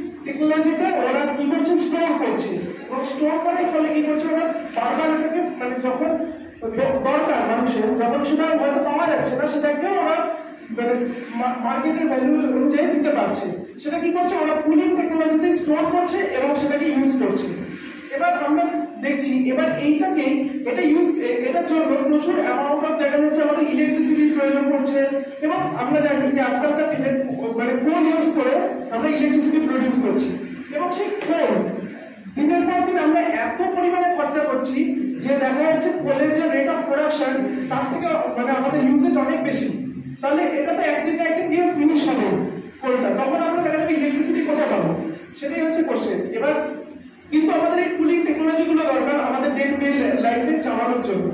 এবার এইটার জন্য একটা মানে ই ওয়ার্কার বলে একজন সাইন্টিস্ট ম্যাগনেটোস্ট্যাটিক এফেক্ট বলে একটা এফেক্ট আবিষ্কার করলেন যেভাবে যেটা যে উইদাউট এনি ইলেকট্রিসিটি আমরা without use of magnetic field আমরা কুলিং টেকনোলজিকে বা হিটিং টেকনোলজিকে আমরা ডিসক্রাইব করতে পারি। এবার ম্যাগনেটোস্ট্যাটিক এফেক্ট জিনিসটা কি? What is magnetostatic effect magnetostatic effect হচ্ছে, যে কোনো ম্যাগনেটিক ম্যাটেরিয়ালসকে আমরা যদি যে কোনো ম্যাগনেটিক ফিল্ডের মধ্যে আনি, সে দেখা যাচ্ছে কোনো থার্মাল রেসপন্স দিচ্ছে। সে দেখা যাচ্ছে হিটিং বা কুলিং এফেক্ট দেখা যাচ্ছে। সে সে যেরকম মানে যে কোনো ম্যাগনেটিক ম্যাটেরিয়াল হতে পারে। সে কোবাল্ট নিকেল বা এখনকার দিনে যেটা নিয়ে আর কি ম্যাক্সিমাম ইউজ হচ্ছে সেটা হচ্ছে গ্যালোডিনিয়াম বলে। যে ওইটা যদি আমরা ম্যাগনেটিক ফিল্ডের মধ্যে রাখি, সে দেখা যাচ্ছে কুলিং বা হিটিং এফেক্ট দেখা যাচ্ছে। এবার আমরা এখানে দেখতে পাচ্ছি যে এই ফিজিক্সটা কি করে হচ্ছে? এই ম্যাগনেটিক ক্যালোরিক এফেক্টের পিছনে। দেখা যাচ্ছে ওই ফার্স্টের ডাব্লিকের কোনার একটা ফটোতে দেখা যাচ্ছে দুটো ম্যাগনেটিক মানে ম্যাগনেটিক ফিল্ডের মধ্যে যে কোনো একটা ম্যাগনেটিক ম্যাটেরিয়াল সে ওটা গ্যালোলিনিয়ামই ধরছি ম্যাগনেটিক ম্যাটেরিয়ালটাকে যদি আমরা ম্যাগনেটিক ফিল্ডের মধ্যে আনছি যখন, তখন দেখা যাচ্ছে ও ম্যাগনেটিক ম্যাটেরিয়ালটার ভিতরে প্রচুর ডাইপোলস এক্সিস্ট করছে। এবার সেই ডাইপোলসগুলো কি করছে, আস্তে আস্তে যখন ম্যাগনেটিক ফিল্ডের মধ্যে আসছে, ও ম্যাগনেটিক ফিল্ডের ডিরেকশনে ডাইপোলগুলো অ্যালাইন হওয়ার চেষ্টা করছে। এবং দেখা যাচ্ছে যখন সেটা আস্তে আস্তে আমরা ম্যাগনেটিক ফিল্ডের মধ্যে আরও ঢোকাচ্ছি ওই ম্যাগনেটিক ফিল্ড মানে ফিল্ডের মধ্যে এসে ওর পুরো ম্যাটেরিয়ালটাই নিজের ডাইপোলগুলো অ্যালাইন করে নিচ্ছে ম্যাগনেটিক ফিল্ডের দিকে। মানে ডাইপোলগুলো ম্যাগনেটিক ফিল্ডের দিকে অ্যালাইন করে নিচ্ছে এবং আমরা দেখছি যে যদি এবং একটা অর্ডারের মধ্যে চলে আসছে এই সিস্টেমে এবং আমরা যদি এই সিস্টেমটাকে রিভার্স করি মানে যদি ম্যাগনেটিক ফিল্ডের থেকে আস্তে আস্তে আমরা যদি ম্যাগনেটিক ম্যাটেরিয়ালটা আস্তে আস্তে যদি ম্যাগনেটিক ফিল্ড থেকে তুলে নিই, সে দেখা আবার আস্তে আস্তে আস্তে নিজের যে অর্ডারগুলো ছিল ডাইপোলস এর মধ্যে সেই অর্ডারগুলো আস্তে আস্তে আস্তে আস্তে ডিসঅর্ডার হওয়া শুরু করছে। এবং দেখা যাচ্ছে যে ওটা কুলিং এফেক্ট দেখা দিচ্ছে। এবং ওটা কেন কুলিং এফেক্ট দেখা দিচ্ছে এবং কেন ওটা যখন ম্যাগনেটিক ফিল্ডে আসছে, ওটা হিটিং এফেক্ট দেখাচ্ছে, সেটাই আমি আমার পরের স্লাইডে ব্যাখ্যা করছি। আমরা কি জানি যে টোটাল এন্ট্রপি একটা সিস্টেম এবং একটা সিস্টেম যদি আমরা টোটাল এন্ট্রপি ভাবি, সেই টোটাল এন্ট্রপিটা একটা সিস্টেমের জন্য কি থাকে? কনস্ট্যান্ট থাকে।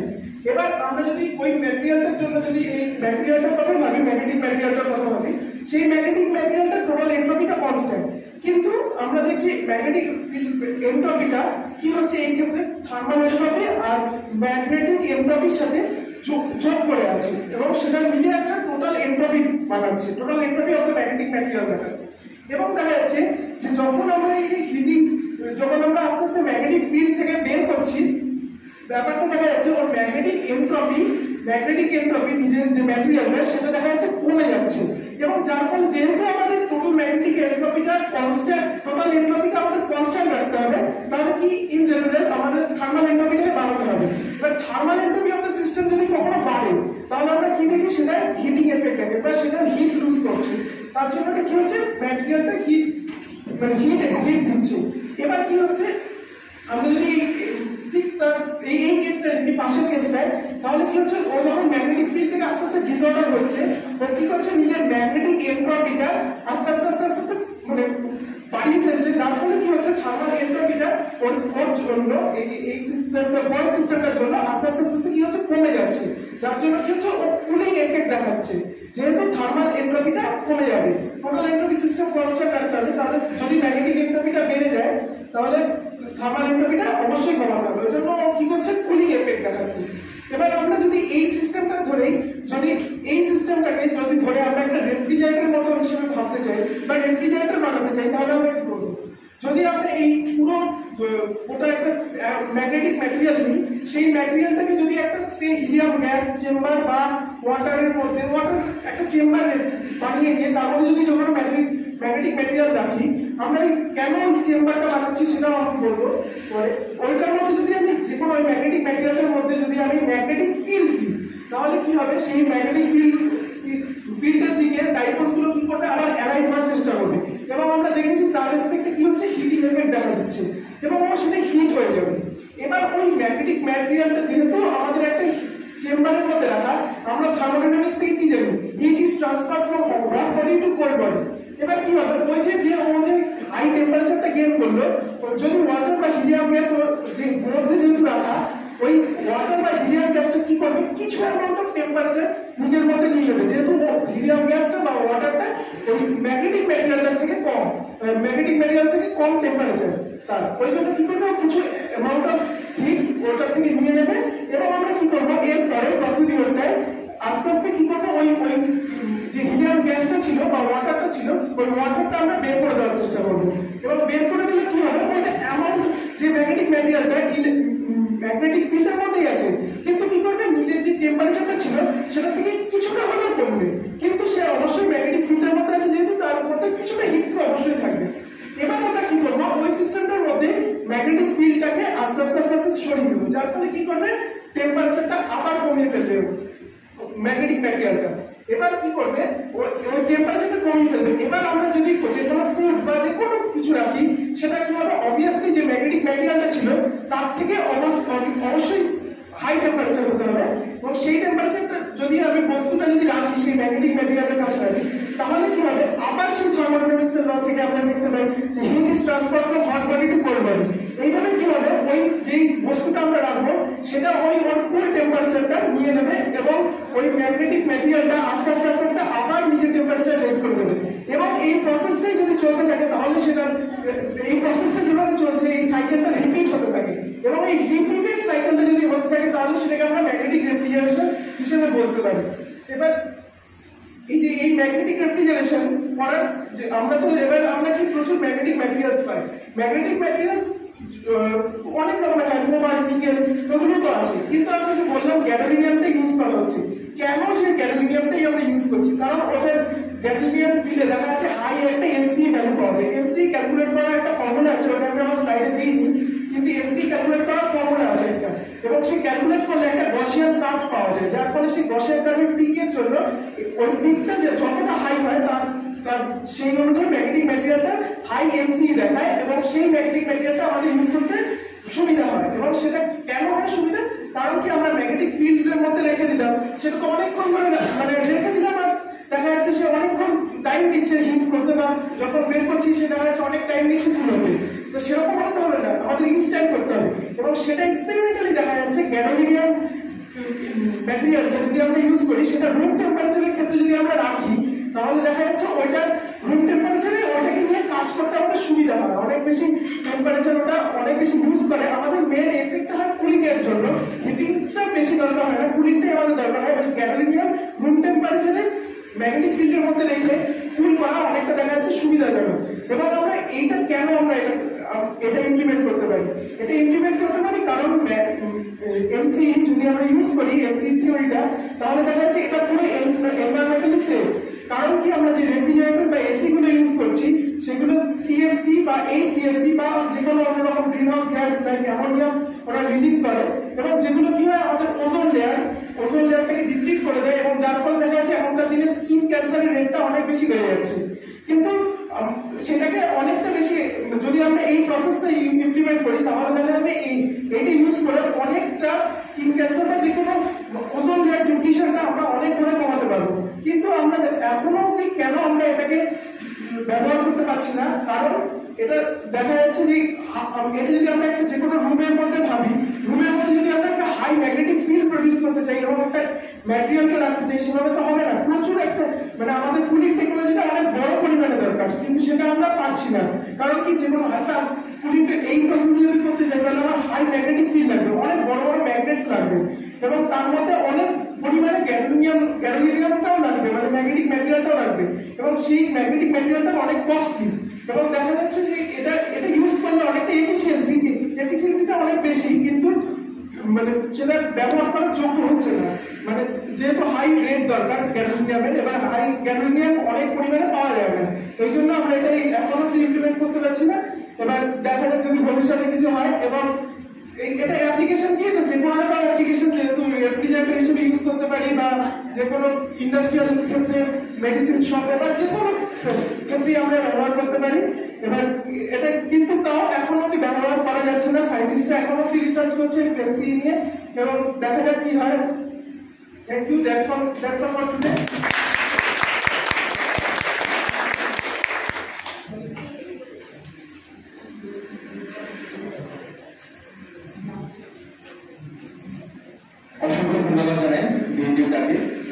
এরপরে প্রেজেন্টেশনের জন্য আমি ডেকে নিচ্ছি, সঞ্জয় পালকে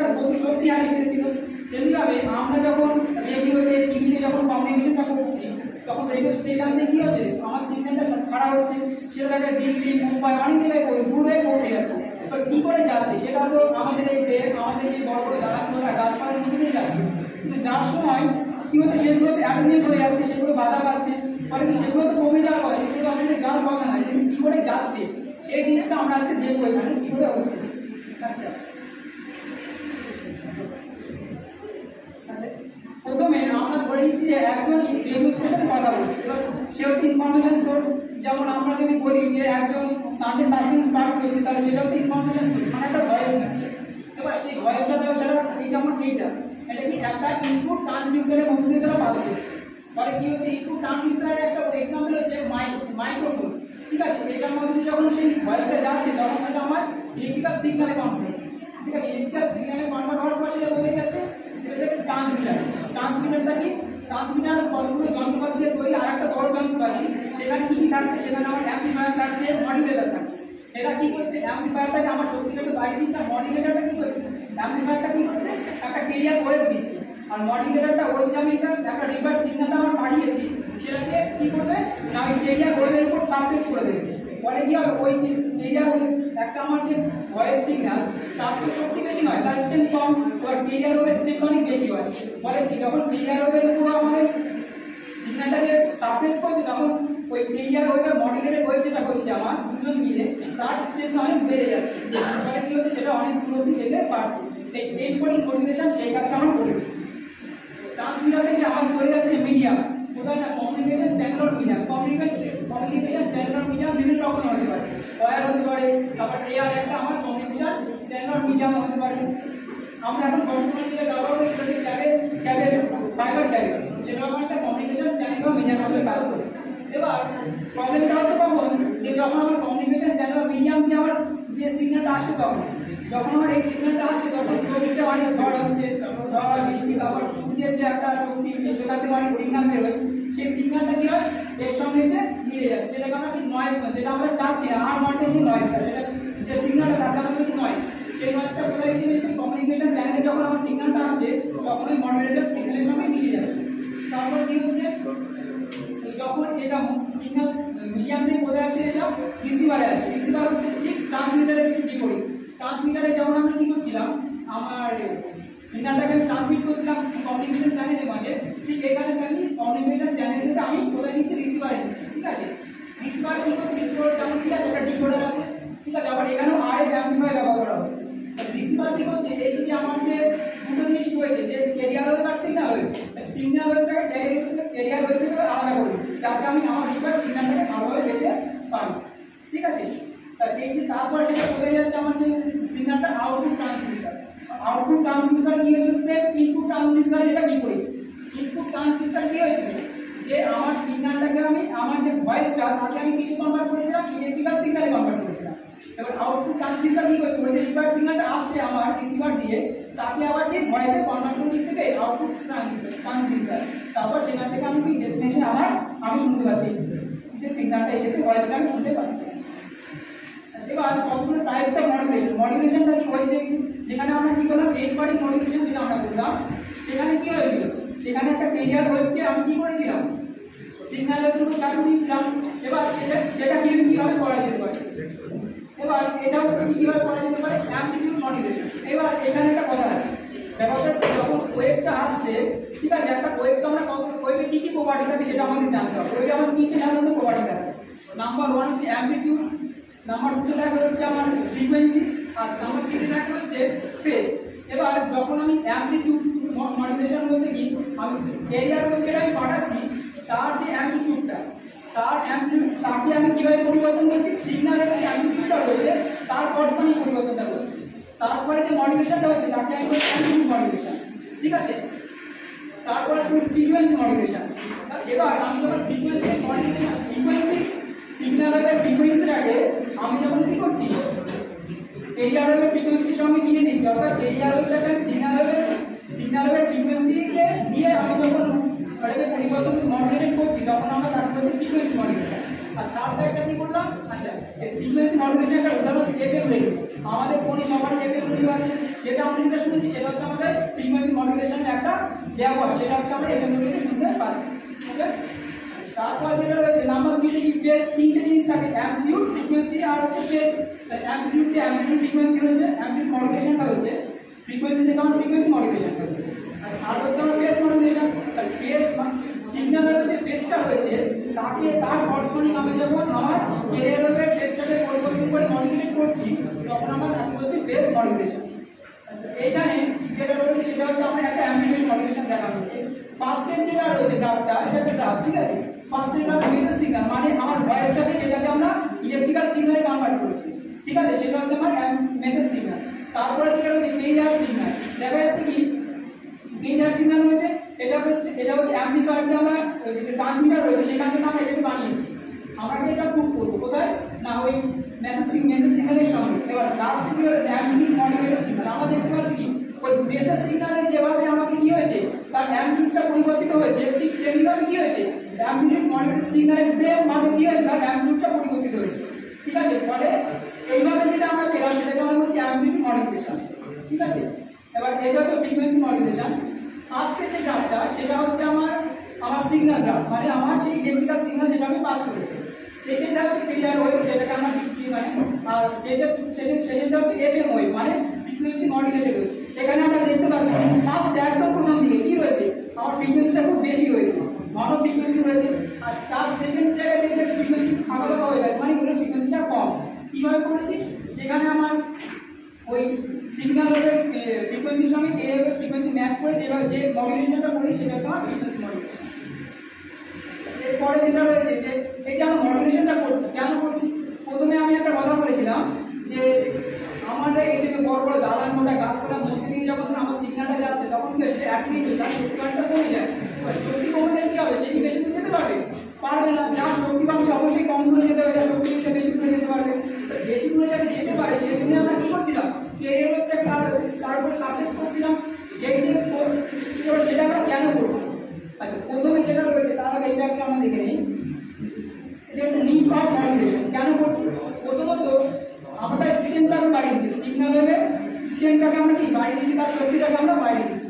সেকেন্ড হচ্ছে, এই যে আমরা কি করে একটা নয়েজ আমাদের সঙ্গে মিশে, যখন আমরা, যখন আমাদের যে সিগন্যালটা এবার হচ্ছে কমিউনিকেশন মিডিয়ামে রয়েছে চ্যানেলে রয়েছে, তখন তো তার সঙ্গে অনেক নয়েজ এসে মিশছে। নয়েজটা যাতে কম মিশতে পারে, যার শক্তির সাথে কি অনেক যে ধরতে পারব না তাহলে যাতে কম মিশতে পারে, তার জন্য আমরা কি মডিফিকেশনটা করছি, ঠিক আছে? আর সব থেকে যে বেশি ইম্পর্টেন্ট যে ব্যাপারটা, সেটা হচ্ছে কোথায়? সেটা হচ্ছে এই তো এটা হচ্ছে যেমন আমরা যদি যে আমি যে ভয়েসটা বলছি, সেটাতে আমি সেটাকে আমি কী করলাম? ইলেকট্রিক্যাল সিগন্যাল কনভার্ট করেছি। সেই সিগন্যালটাকে আমি যদি পাস করতে চাই, তাহলে কি হবে? আচ্ছা আমরা জানি আমাদের যে আমাদের যে সোনার ফ্রিকোয়েন্সি সেটা কত? যে রেঞ্জটা সেটা হচ্ছে টোয়েন্টি আর্স থেকে টোয়েন্টি কিলো আর্স ঠিক আছে, এটা কিন্তু ফ্রিকোয়েন্সি টোয়েন্টি আর্স থেকে টোয়েন্টি কিলো আর্স এবার আমরা যদি সব থেকে বড় যে ফ্রিকোয়েন্সিটা আমরা কত টোয়েন্টি কিলো আর্স হচ্ছে এবার তাকে যদি তাকে যদি আমরা পাস করতে চাই, এক জায়গা থেকে আরেক জায়গায়, তাহলে আমরা সাধারণত কি জানি? রেডিও টিভিতে অ্যান্টেনা ব্যবহার করা হচ্ছে। তো তাহলে অ্যান্টেনার কত হবে সেটা আমরা বের দেখা যাচ্ছে কি, আমরা জানি কি, যে যে বেগটা সেটা হচ্ছে কি তরঙ্গ আর হচ্ছে ফ্রিকোয়েন্সি তরঙ্গ আর ফ্রিকোয়েন্সি মানে গুণফল এবার যখন আমরা কি করছি এখানে ল্যাম্পটা ওয়েভলেন্থটা বের করছি ওই তরঙ্গটা বের করছি, কি করে? যে ওই আলোর যে স্পিড সেটা একটা ওইভাবে তেমন স্পিড ধরে নিলাম। তাহলে কি হচ্ছে? সি মানে হচ্ছে three centimetre metre per second এটা হচ্ছে আর আমার ফ্রিকোয়েন্সিটা কত? টোয়েন্টি কিলো আর্স তাতে যখন আমি ডিভাইড করব, তখন আমার দেখা বেরোবে ওইটা পনেরো কিলোমিটার এবার আমাকে যদি একটা অ্যান্টেনা বানাতে হয় তাকে আমার কটা ওয়েভলেন্থ হতে হবে? মানে একটা ওয়েভলেন্থ যত আছে, তার তার চার ভাগের এক ভাগ করতে হবে, তাহলে তাকে আমার ভাগ করতে হবে। যখন আমি চার দিয়ে আমার ওয়েভলেন্থটাকে ভাগ করলাম তখন আমি কত পেলাম? Three point seven five kilometre পেলাম। তাহলে এখন যদি আমি একটা three point seven five kilometre antenna বাঁধতে যাই, তাহলে না পারব আর খরচ অনেক বেশি হবে বানাতেই পারব তার বানাতেই পারব না, আমি কর। কষ্ট হবে তাও তারপরে দিতে হবে মেনটেন্যান্সটা কম হবে। তাহলে কি করতে হবে? আমাকে এইটাতে বাদ দিতে হবে। এবার এই বড় অ্যান্টেনা যাতে না হয়, যাতে অ্যান্টেনাকে আমরা ছোট করতে পারি সেই জন্য আমরা কি ব্যবহার করেছি সেই জন্য আমরা এই মডিফিকেশনটা করেছি যাতে শক্তি দিয়েছি এবং সে ছোট ছোট অ্যান্টেনার মধ্যে দিয়ে সে এক জায়গাতে আরেকটা বাঁচতে পারছে। ঠিক আছে, এই হচ্ছে মডিফিকেশনটা আমাদের কেন দরকার সেটা আমরা এখানে করেছি।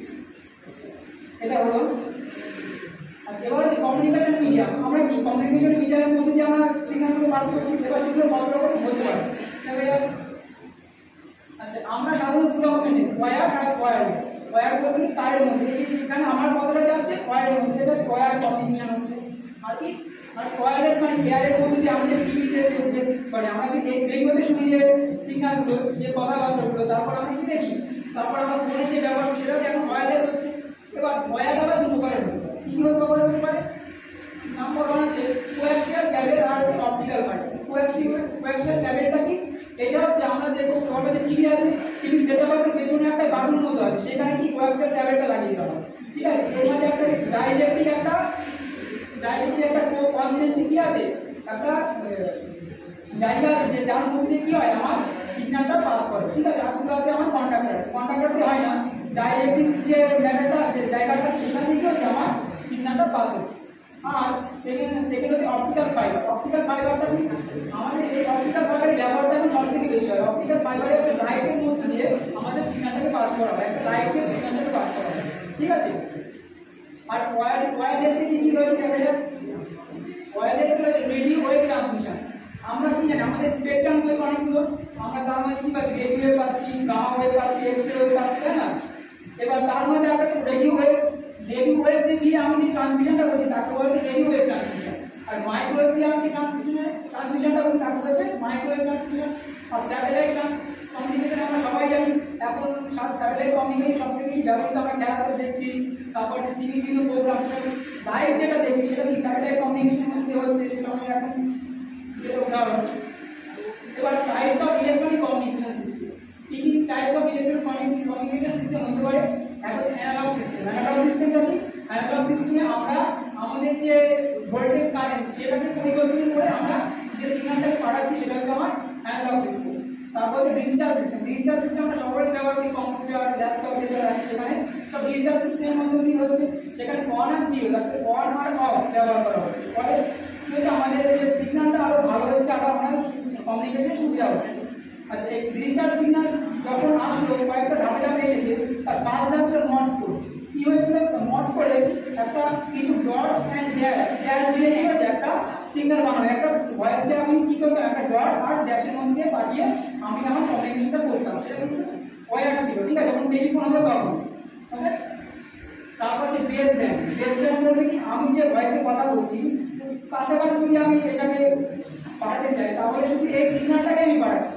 ঠিক আছে? সেটা হচ্ছে আমার বেস ব্যান্ড সিগন্যাল আর যখন আমি বললাম মডুলেশন যখন আমি করছি, তখন সেটা হয়ে যাবে ব্রডব্যান্ড যেটা আমরা এখন ব্যবহার করছি। সব বাড়িতে প্রায় থাকে ব্রডব্যান্ড যখন আমি ওটাকে মডুলেটেড সিগন্যাল পাঠাচ্ছি, তখন তাকে আমরা বলব ব্রডব্যান্ড সিগন্যাল ঠিক আছে? আর দু তিন প্রকার হচ্ছে সিমপ্লেক্স ডুপ্লেক্স আর হচ্ছে আর ডুপ্লেক্স সিমপ্লেক্সটা যেমন রেডিও ব্রডকাস্টিং টিভি ব্রডকাস্টিং এখানে কি হয়েছে যে, শুধুমাত্র যারা রেডিও থেকে সম্প্রচার করছে তাদেরই আমরা শুনতে পাবো, আমরা যদি কিছু বলি, তারা শুনতে পাবে না। আর রেড টিভিতেও সেম কেস এটা হচ্ছে ওয়ান ওয়ে ট্রান্সমিশন শুধুমাত্র তারা বলবে তারা যা করবে আমাকে সেটাই শুনতে হবে, দেখতে হবে। হচ্ছে আমার সিমপ্লেক্স ওয়ান ওয়ে ট্রান্সমিশন তারপরে ডুপ্লেক্স আমরা যখন ফোনে কথা বলি, তখন কি? আমি কথা বলি, আর বন্ধু ওই পাশ কথা বলে সেটা হচ্ছে ডুপ্লেক্স কমিউনিকেশন ঠিক আছে? সেই ফোন ইন্টারনেট আর হাফ ডুপ্লেক্স হচ্ছে ওয়াকি টকি যেমন আমরা যদি কলকাতা যাই, দেখব কলকাতা পুলিশের পকেটে বুক পকেটে কি একটা জিনিস ফোনের মধ্যে লাগানো থাকে? সেটা হচ্ছে ওয়াকি টকি ঠিক আছে? এখানে হাফ ডুপ্লেক্স গেল আমি যখন কথা বলব, আমার ওই পাশে যে থাকবে সে কিন্তু কথা বলতে পারবে।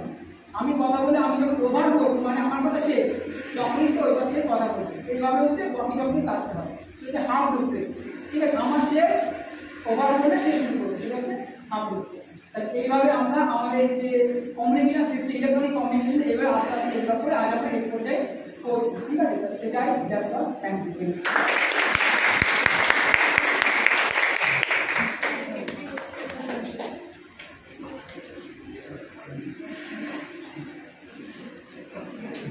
অনেক ধন্যবাদ জানাই, সঞ্জয় দাকে। এরপরে প্রেজেন্টেশনের জন্য অনুরোধ করব shall be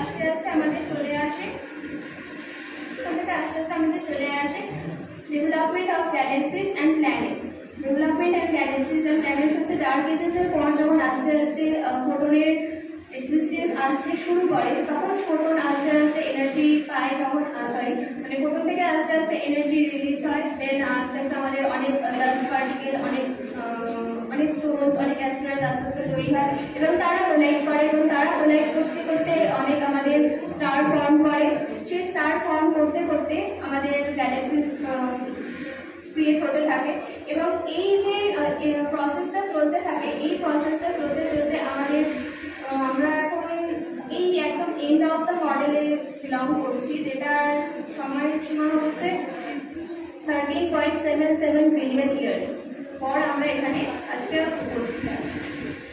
তারপরে একটা ছোট অ্যানিমেশন দিয়েছি দুটো গ্যালাক্সি কোলাইড করার।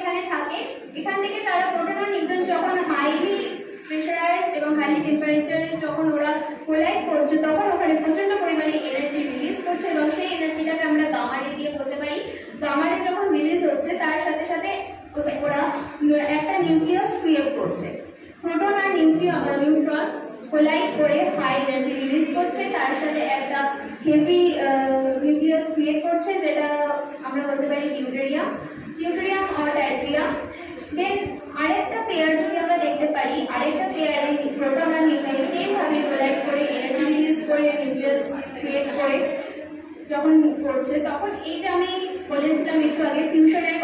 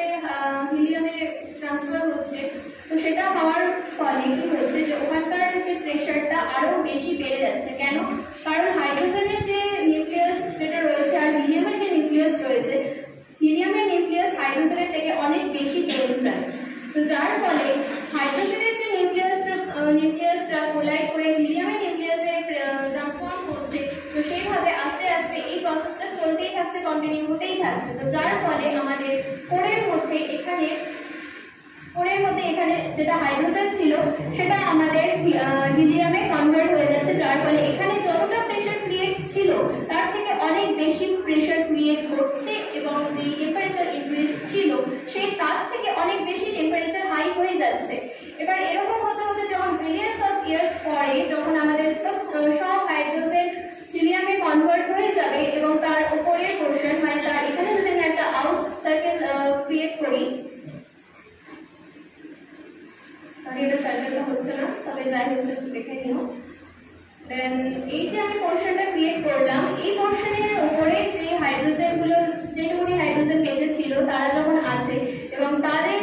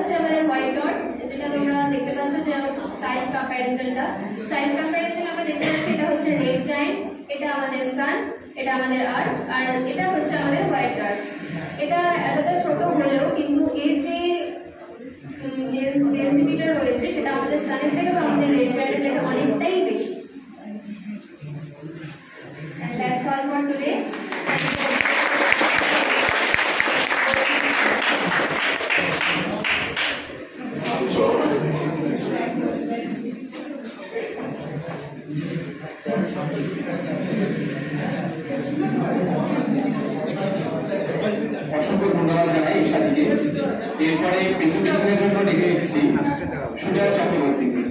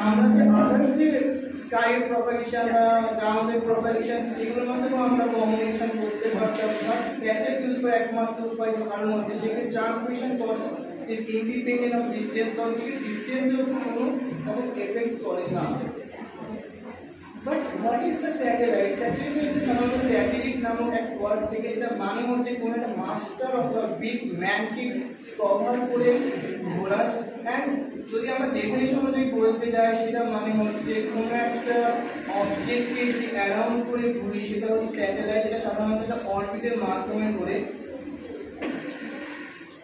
This is a component of satellite and এখানে যে সোলার সেল যেটা আছে সোলার সেলটার মাধ্যমে নর্মালি কি হয় আমাদের যে সান আছে সান থেকে যে রেডিয়েশনটা আসে and we know that energy transfer from one energy to other energy as heat energy is transferred electrical energy because battery and for antenna is receiving signal and transmitting signal and use camera for covering the uh, for the image around the earth.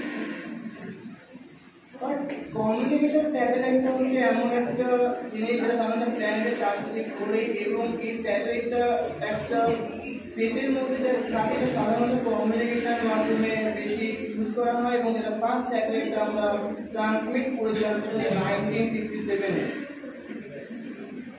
বা স্যাটেলাইটে কাজ করে একটা ব্যাপার আছে because সেক্ষেত্রে আমরা হয়তো suppose USA থাকি আমরা সেক্ষেত্রে কোনো সিগন্যাল যে আমরা ট্রান্সমিট করতে চাই সেটা প্রথমে যাবে, যে সিগন্যালটা আমরা স্যাটেলাইট সেটা আমরা আপলিঙ্ক করা হয়।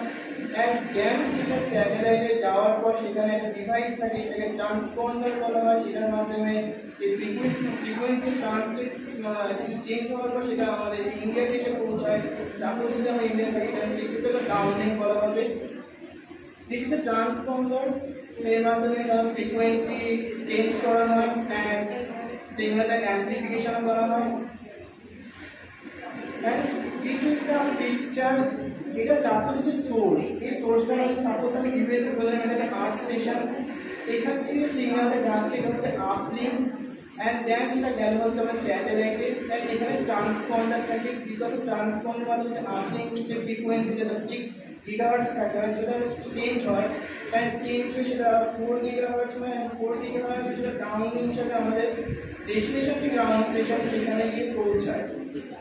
অ্যান্ড যদি সাপোজ এটা আমরা আরও ইজিলি বুঝতে চাই দেন সেটা আরেকটা পিকচার যে পিকচারটা হচ্ছে ইউজিং টর্চ সাপোজ আমাদের এয়ার থেকে রেভিনিউ আমাদের স্যাটেলাইট হিসাবে এবং সেক্ষেত্রে যদি প্রজেক্টারটা যদি লাইট স্টেশন যেটা আমরা রিসিভার হিসাবে যে দেখছে, সেটাকে আমরা হচ্ছে হচ্ছে আমাদের ডেস্টিনেশন ট্রান্সলেশন অ্যান্ড টর্চ হচ্ছে আমাদের ট্রান্সমিটার অ্যান্ড আমাদের যে ওয়াল সেটাকে আমরা স্যাটেলাইট হিসেবে কনসিডার করতে পারি। এবার একটা স্যাটেলাইট সামনে ঘোরার জন্য আমাদের একটা অরবিটের প্রয়োজন সেই অরবিট অনেকটা একটু হয়ে থাকে একটা ইলেকট্রিক্যাল অরবিট হয় একটা ইনলাইন হয় একটা পোলার অরবিট হয় আর মোস্টলি আমরা ইলেকট্রিক্যাল অরবিট ইউজ করে থাকি for better image and long টাইমের জন্য কোনো কিছু কভার করা বা কোনো ইমেজ পাওয়ার জন্য এবং একটা স্যাটেলাইটের আমরা লাইফ টাইম বাড়াতে পারি by changing the orbit suppose একটা স্যাটেলাইট যদি আমরা টিভিতে করে লোয়ার আর্ট অরবিটে করে না সেটা যদি আমি মিডিয়াম আর্ট অরবিটে চেঞ্জ করে দিই দেন সেই ক্ষেত্রে সেই অরবিটটা কী হবে আমার লাইফ টাইমটা বেড়ে যাবে this is the classification of orbit first হচ্ছে ইকুইটোরিয়াল অরবিট and second হচ্ছে আমাদের ইনসাইড অরবিট and লাস্ট হচ্ছে আমাদের পোলার অরবিট স্যাটেলাইট বাট একটা স্যাটেলাইটকে আমরা কীভাবে আমরা স্টে করাতে পারব অরবিটে বিকজ আমরা জানি যে আমাদের অনেক টাইপের আমরা মোশন ইনার্শিয়া জানি যদি কোনো একটা বডিকে আমরা মুভ করাই সেই বডি মুভ করে যতক্ষণ আমরা তার উপর কোনো ফোর্স অ্যাপ্লাই করছি। তাহলে আমরা যদি এবার সাপোজ একটা রকেট রকেটের মাধ্যমে স্যাটেলাইট থেকে যখন পাঠাই এটার কি হবে, সেক্ষেত্রে ইনিশিয়ালি একটা ভার্টিক্যাল মোশন থাকবে অ্যান্ড দেন তো একটু গ্র্যাভিটেশনাল পুল আছে। সেক্ষেত্রে কি হবে? ওই যে গ্র্যাভিটেশনাল পুলের যে একটা ফোর্সটা ওই যে ভার্টিক্যাল মোশন সেই দুটো যে ব্যালেন্স হয়ে সেটি করবে আর্ট অরবিটে ও স্টে করতে পারবে। আর স্যাটেলাইট কমিউনিকেশনে অনেকগুলো হচ্ছে আমাদের এলিমেন্টস থাকে, একটা বেস সেগমেন্ট থাকে গ্রাউন্ড সেগমেন্ট থেকে, আমাদের বেস সেগমেন্টে আমাদের লঞ্চ মেকানিজম থাকে ক্র্যাফট অ্যান্ড গ্রাউন্ডে আমাদের হচ্ছে earth station and network control and আমাদের বেস সেগমেন্টে নর্মালি অনেকগুলো অরবিটে ভাগ করা হয়। একটা হচ্ছে লোয়ার আর্ট অরবিট একটা হচ্ছে আমাদের মিডিয়াম আর্ট অরবিট একটা geostationary earth orbit and একটা হাই অ্যালটিটিউড অফ প্ল্যাটফর্ম নোয়ালমিয়া যেখানে আমাদের সব থেকে বেনিফিট হচ্ছে আমাদের জিও স্টেশনারি আর্ট অরবিট যেটা আমরা thirty seven thousand five hundred kilometre approximately আমরা ছাড়ি যে হাইট থেকে সেক্ষেত্রে আমরা অনেক বেশি মানে এরিয়া কভার করতে পারব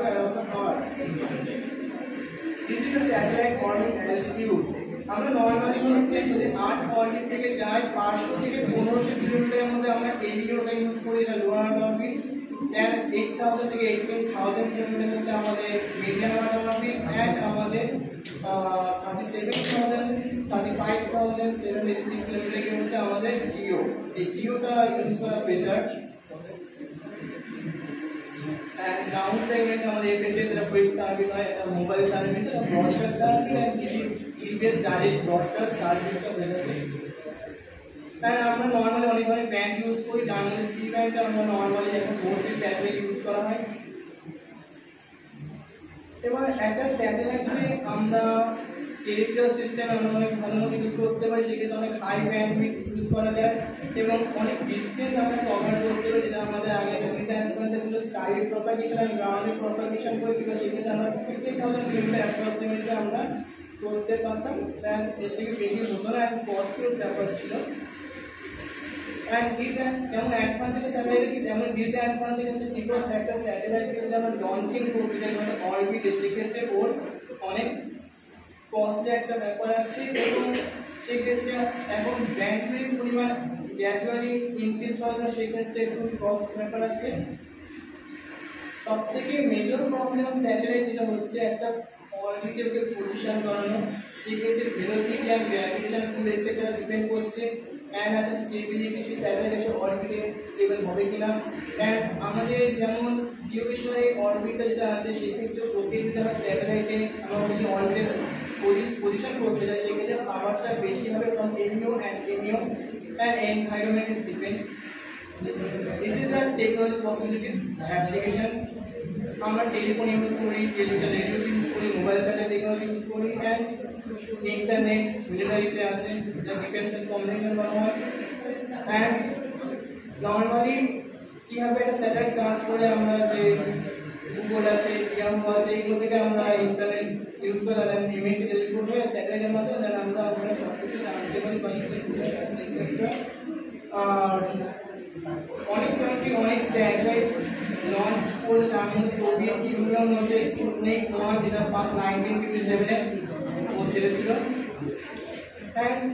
আমরা স্যাটেলাইটের মাধ্যমে কি হয়, আমরা অনেক কিছু তাড়াতাড়ি পাচ্ছি অ্যান্ড স্পিড অনেক বেশি, এবং অ্যাডভান্টেজও আছে। অ্যান্ড কমিউনিকেশন স্যাটেলাইটের মাধ্যমে আমরা কিন্তু যে কোনো ওয়ার্ল্ড যেমন আমরা যেখানে গুগলে সার্চ করি না কেন সেটা আমরা ইমেজ পেয়ে যাচ্ছি দেন সেটা কিন্তু using satellite then then thank you my presentation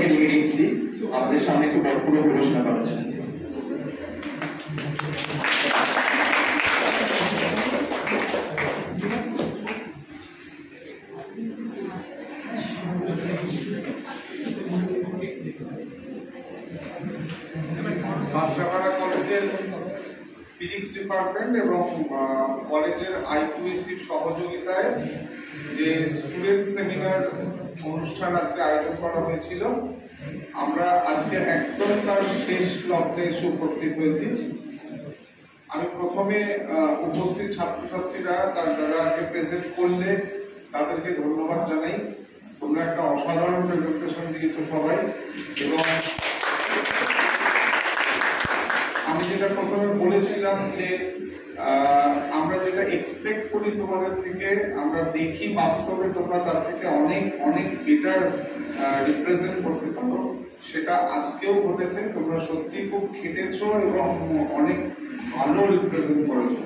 এবং আমরা অ্যাজ এ টিচার হয়ে আমরাও হয়তো এত ভালো প্রিপারেশন নিতে পারতাম কিনা খুব সন্দেহ আছে, যেটা তোমরা অনেকেই করতে পেরেছ আর কি। সবাই করতে পেরেছ আমাদের ডিপার্টমেন্টের যারা শিক্ষক আছেন এবং শিক্ষা কর্মী আছেন তাদের সবাইকে আমি অবশ্যই ধন্যবাদ জানাচ্ছি আজকের অনুষ্ঠানটা আয়োজন করার জন্য সবার শেষে, ধন্যবাদের শেষে ডিপার্টমেন্টের তরফ থেকে ছাত্রছাত্রীদের উদ্দেশ্যে কিছু ছোট্ট সাজেশন দেওয়ার আছে সিক্স সেমিস্টার যারা আজকে প্রেজেন্ট দিলে তারা যদি ভবিষ্যতে আবার প্রেজেন্ট দিতে চাও তাদের জন্য। এবং এই মুহূর্তে যারা ফোর্থ সেমিস্টার এবং সেকেন্ড সেমিস্টার আছো যাদের ভবিষ্যতে স্টুডেন্ট সেমিনার দিতে হবে তাদের জন্য। খুব ছোট দুটো কথা বলি। যখন তুমি বাড়িতে বা যে কোনো জায়গাতে যখন তুমি পাওয়ার পয়েন্টটা তৈরি করছ তোমার কম্পিউটারে বা ল্যাপটপে যে মুহূর্তে তুমি তৈরি করছ, সেই মুহূর্তে তোমার থেকে ওই কম্পিউটারটার স্ক্রিনের ডিস্টেন্সটা একদম কম। ফলে তুমি সবকিছু একদম পরিষ্কার দেখতে পাচ্ছ। ঠিক আছে? কিন্তু মনে রাখতে হবে, তুমি যে পাওয়ার পয়েন্টটা তৈরি করবে, সেটা যখন তুমি প্রেজেন্ট করবে, যিনি ফার্স্ট বেঞ্চে বসে আছেন বা ফার্স্ট রোতে বসে আছেন, তার জন্য তুমি তৈরি করবে না। তুমি তৈরি করবে, যিনি লাস্ট বেঞ্চে বসে আছেন তার জন্য। অর্থাৎ তার কথা ভেবে তুমি পাওয়ার পয়েন্টটা তৈরি করবে। একটা কথা অনেক সময় আমাদের মাস্টারমশাইরা শেখাতেন, যদিও আমরা যখন পড়াশোনা করেছি তখন পাওয়ার পয়েন্ট বলে কিছু হতো না, ভবিষ্যতে আর কি আমরা শিখেছি আস্তে আস্তে। সেটা হচ্ছে একটা স্লাইডে ছটা থেকে সাতটা ম্যাক্সিমাম ম্যাক্সিমাম কিন্তু তার বেশি সেন্টেন্স কোনোভাবেই লিখবে না। ছটা বা সাতটা খুব বেশি বলে ফেললাম। তার থেকে বেশি লিখবে না এবং সেটা যদি বুলেট দিয়ে লেখো, শুধু বুলেট তাহলে আরও ভালো হয়। নট একেবারে টানা লিখে যাচ্ছে এরকম না। এটা একটা কথা। সেকেন্ড কথা হচ্ছে, আমি ব্যাকগ্রাউন্ডটা কি করব? আজকাল বিভিন্ন টেমপ্লেট পাওয়া যায় মানে ইনবিল ভেতরে খুললেই পাওয়া যায় আর কি। সেটা অনেকে ইউজ করে। অনেকে আবার টেমপ্লেট তৈরি করে নেয় আর কি। মানে যারা ধরো খুব বড় বড় স্পিকার তারা নিজের টেমপ্লেট নিজে তৈরি করে নেয়। মানে টেমপ্লেটটা দেখলেই বলা যায় যে এটা এই স্পিকারের টেমপ্লেট কিন্তু সেটা যদি না হয় নর্মাল আমাদের মতো যারা সাধারণ মানুষ আর কি, তাদের ব্যাকগ্রাউন্ডটা কি হবে? একটা কনভেনশন হচ্ছে ব্যাকগ্রাউন্ডটা একদম হালকা কালার লাইট কালার হোয়াইট মানে কেউ ব্যাকগ্রাউন্ডে কোনো কালারই দেয় না। আজকেও দেখবে হয়েছে অনেকে কোনো কালারই দেয়নি হোয়াইট খুব লাইট ইয়েলো খুব লাইট গ্রিন এরকম। যদি তুমি ব্যাকগ্রাউন্ডে লাইট কালার দাও, তাহলে তোমার যে লেখাটা হবে, সেটা হবে ডিপ কালার আরেকটা কনভেনশন হচ্ছে ব্যাকগ্রাউন্ডটা ডিপ কালার আর লেখাটা লাইট কালার এই সেকেন্ড মেথডে একটা প্রবলেম আছে। ব্যাকগ্রাউন্ড যদি ডিপ কালার দাও, তাহলে ম্যাক্সিমাম কেসে দেখা যায় যে লাইট কালারের যে লেখাটা, সেটা হোয়াইট ছাড়া বাকি অনেক লাইট কালারই কিন্তু নিচ্ছে না। তুমি দেখবে একটা ইয়েলো দিলে, তুমি ধরো ব্যাকগ্রাউন্ড দিয়েছ ডিপ ব্লু তুমি ওর উপর হোয়াইট দাও ভেরি গুড প্রমিনেন্ট কিন্তু অনেক সময় ইয়েলো দাও দেখবে অনেক ইয়েলো ঠিকঠাক মতো নিচ্ছে না। বা হালকা গ্রিন দাও দেখবে নিচ্ছে না। তো এই ব্যাপারটাও তোমাকে খেয়াল রাখতে হবে যে এবার এটা তোমার চয়েস কিন্তু, এখানে কোনো রুল নেই যে তোমাকে এটা করতেই হবে। যে আমি ব্যাকগ্রাউন্ড কি নেব আর ব্যাকগ্রাউন্ডের সাথে আমি যে লেখাটা নিচ্ছি, আমি সেটা কীভাবে নেব? তো এইগুলো আস্তে আস্তে তোমরা শিখবে এবং যত এগুলো তৈরি করবে, তত আরও তোমরা ভালো ভালো জিনিস তৈরি করতে পারবে। সুতরাং আগামী দিনে যখন আজকের যারা ফোর্থ সেমিস্টার বা আজকের যারা সেকেন্ড সেমিস্টার তোমরা যখন এগুলো তৈরি করবে, তখন এগুলো মাথায় রাখবে এবং আরও সুন্দর সুন্দর প্রেজেন্টেশন আমাকে দেবে, আমাদেরকে দেবে। এই আশা রেখে আনুষ্ঠানিকভাবে আজকের অনুষ্ঠানের সমাপ্তি ঘোষণা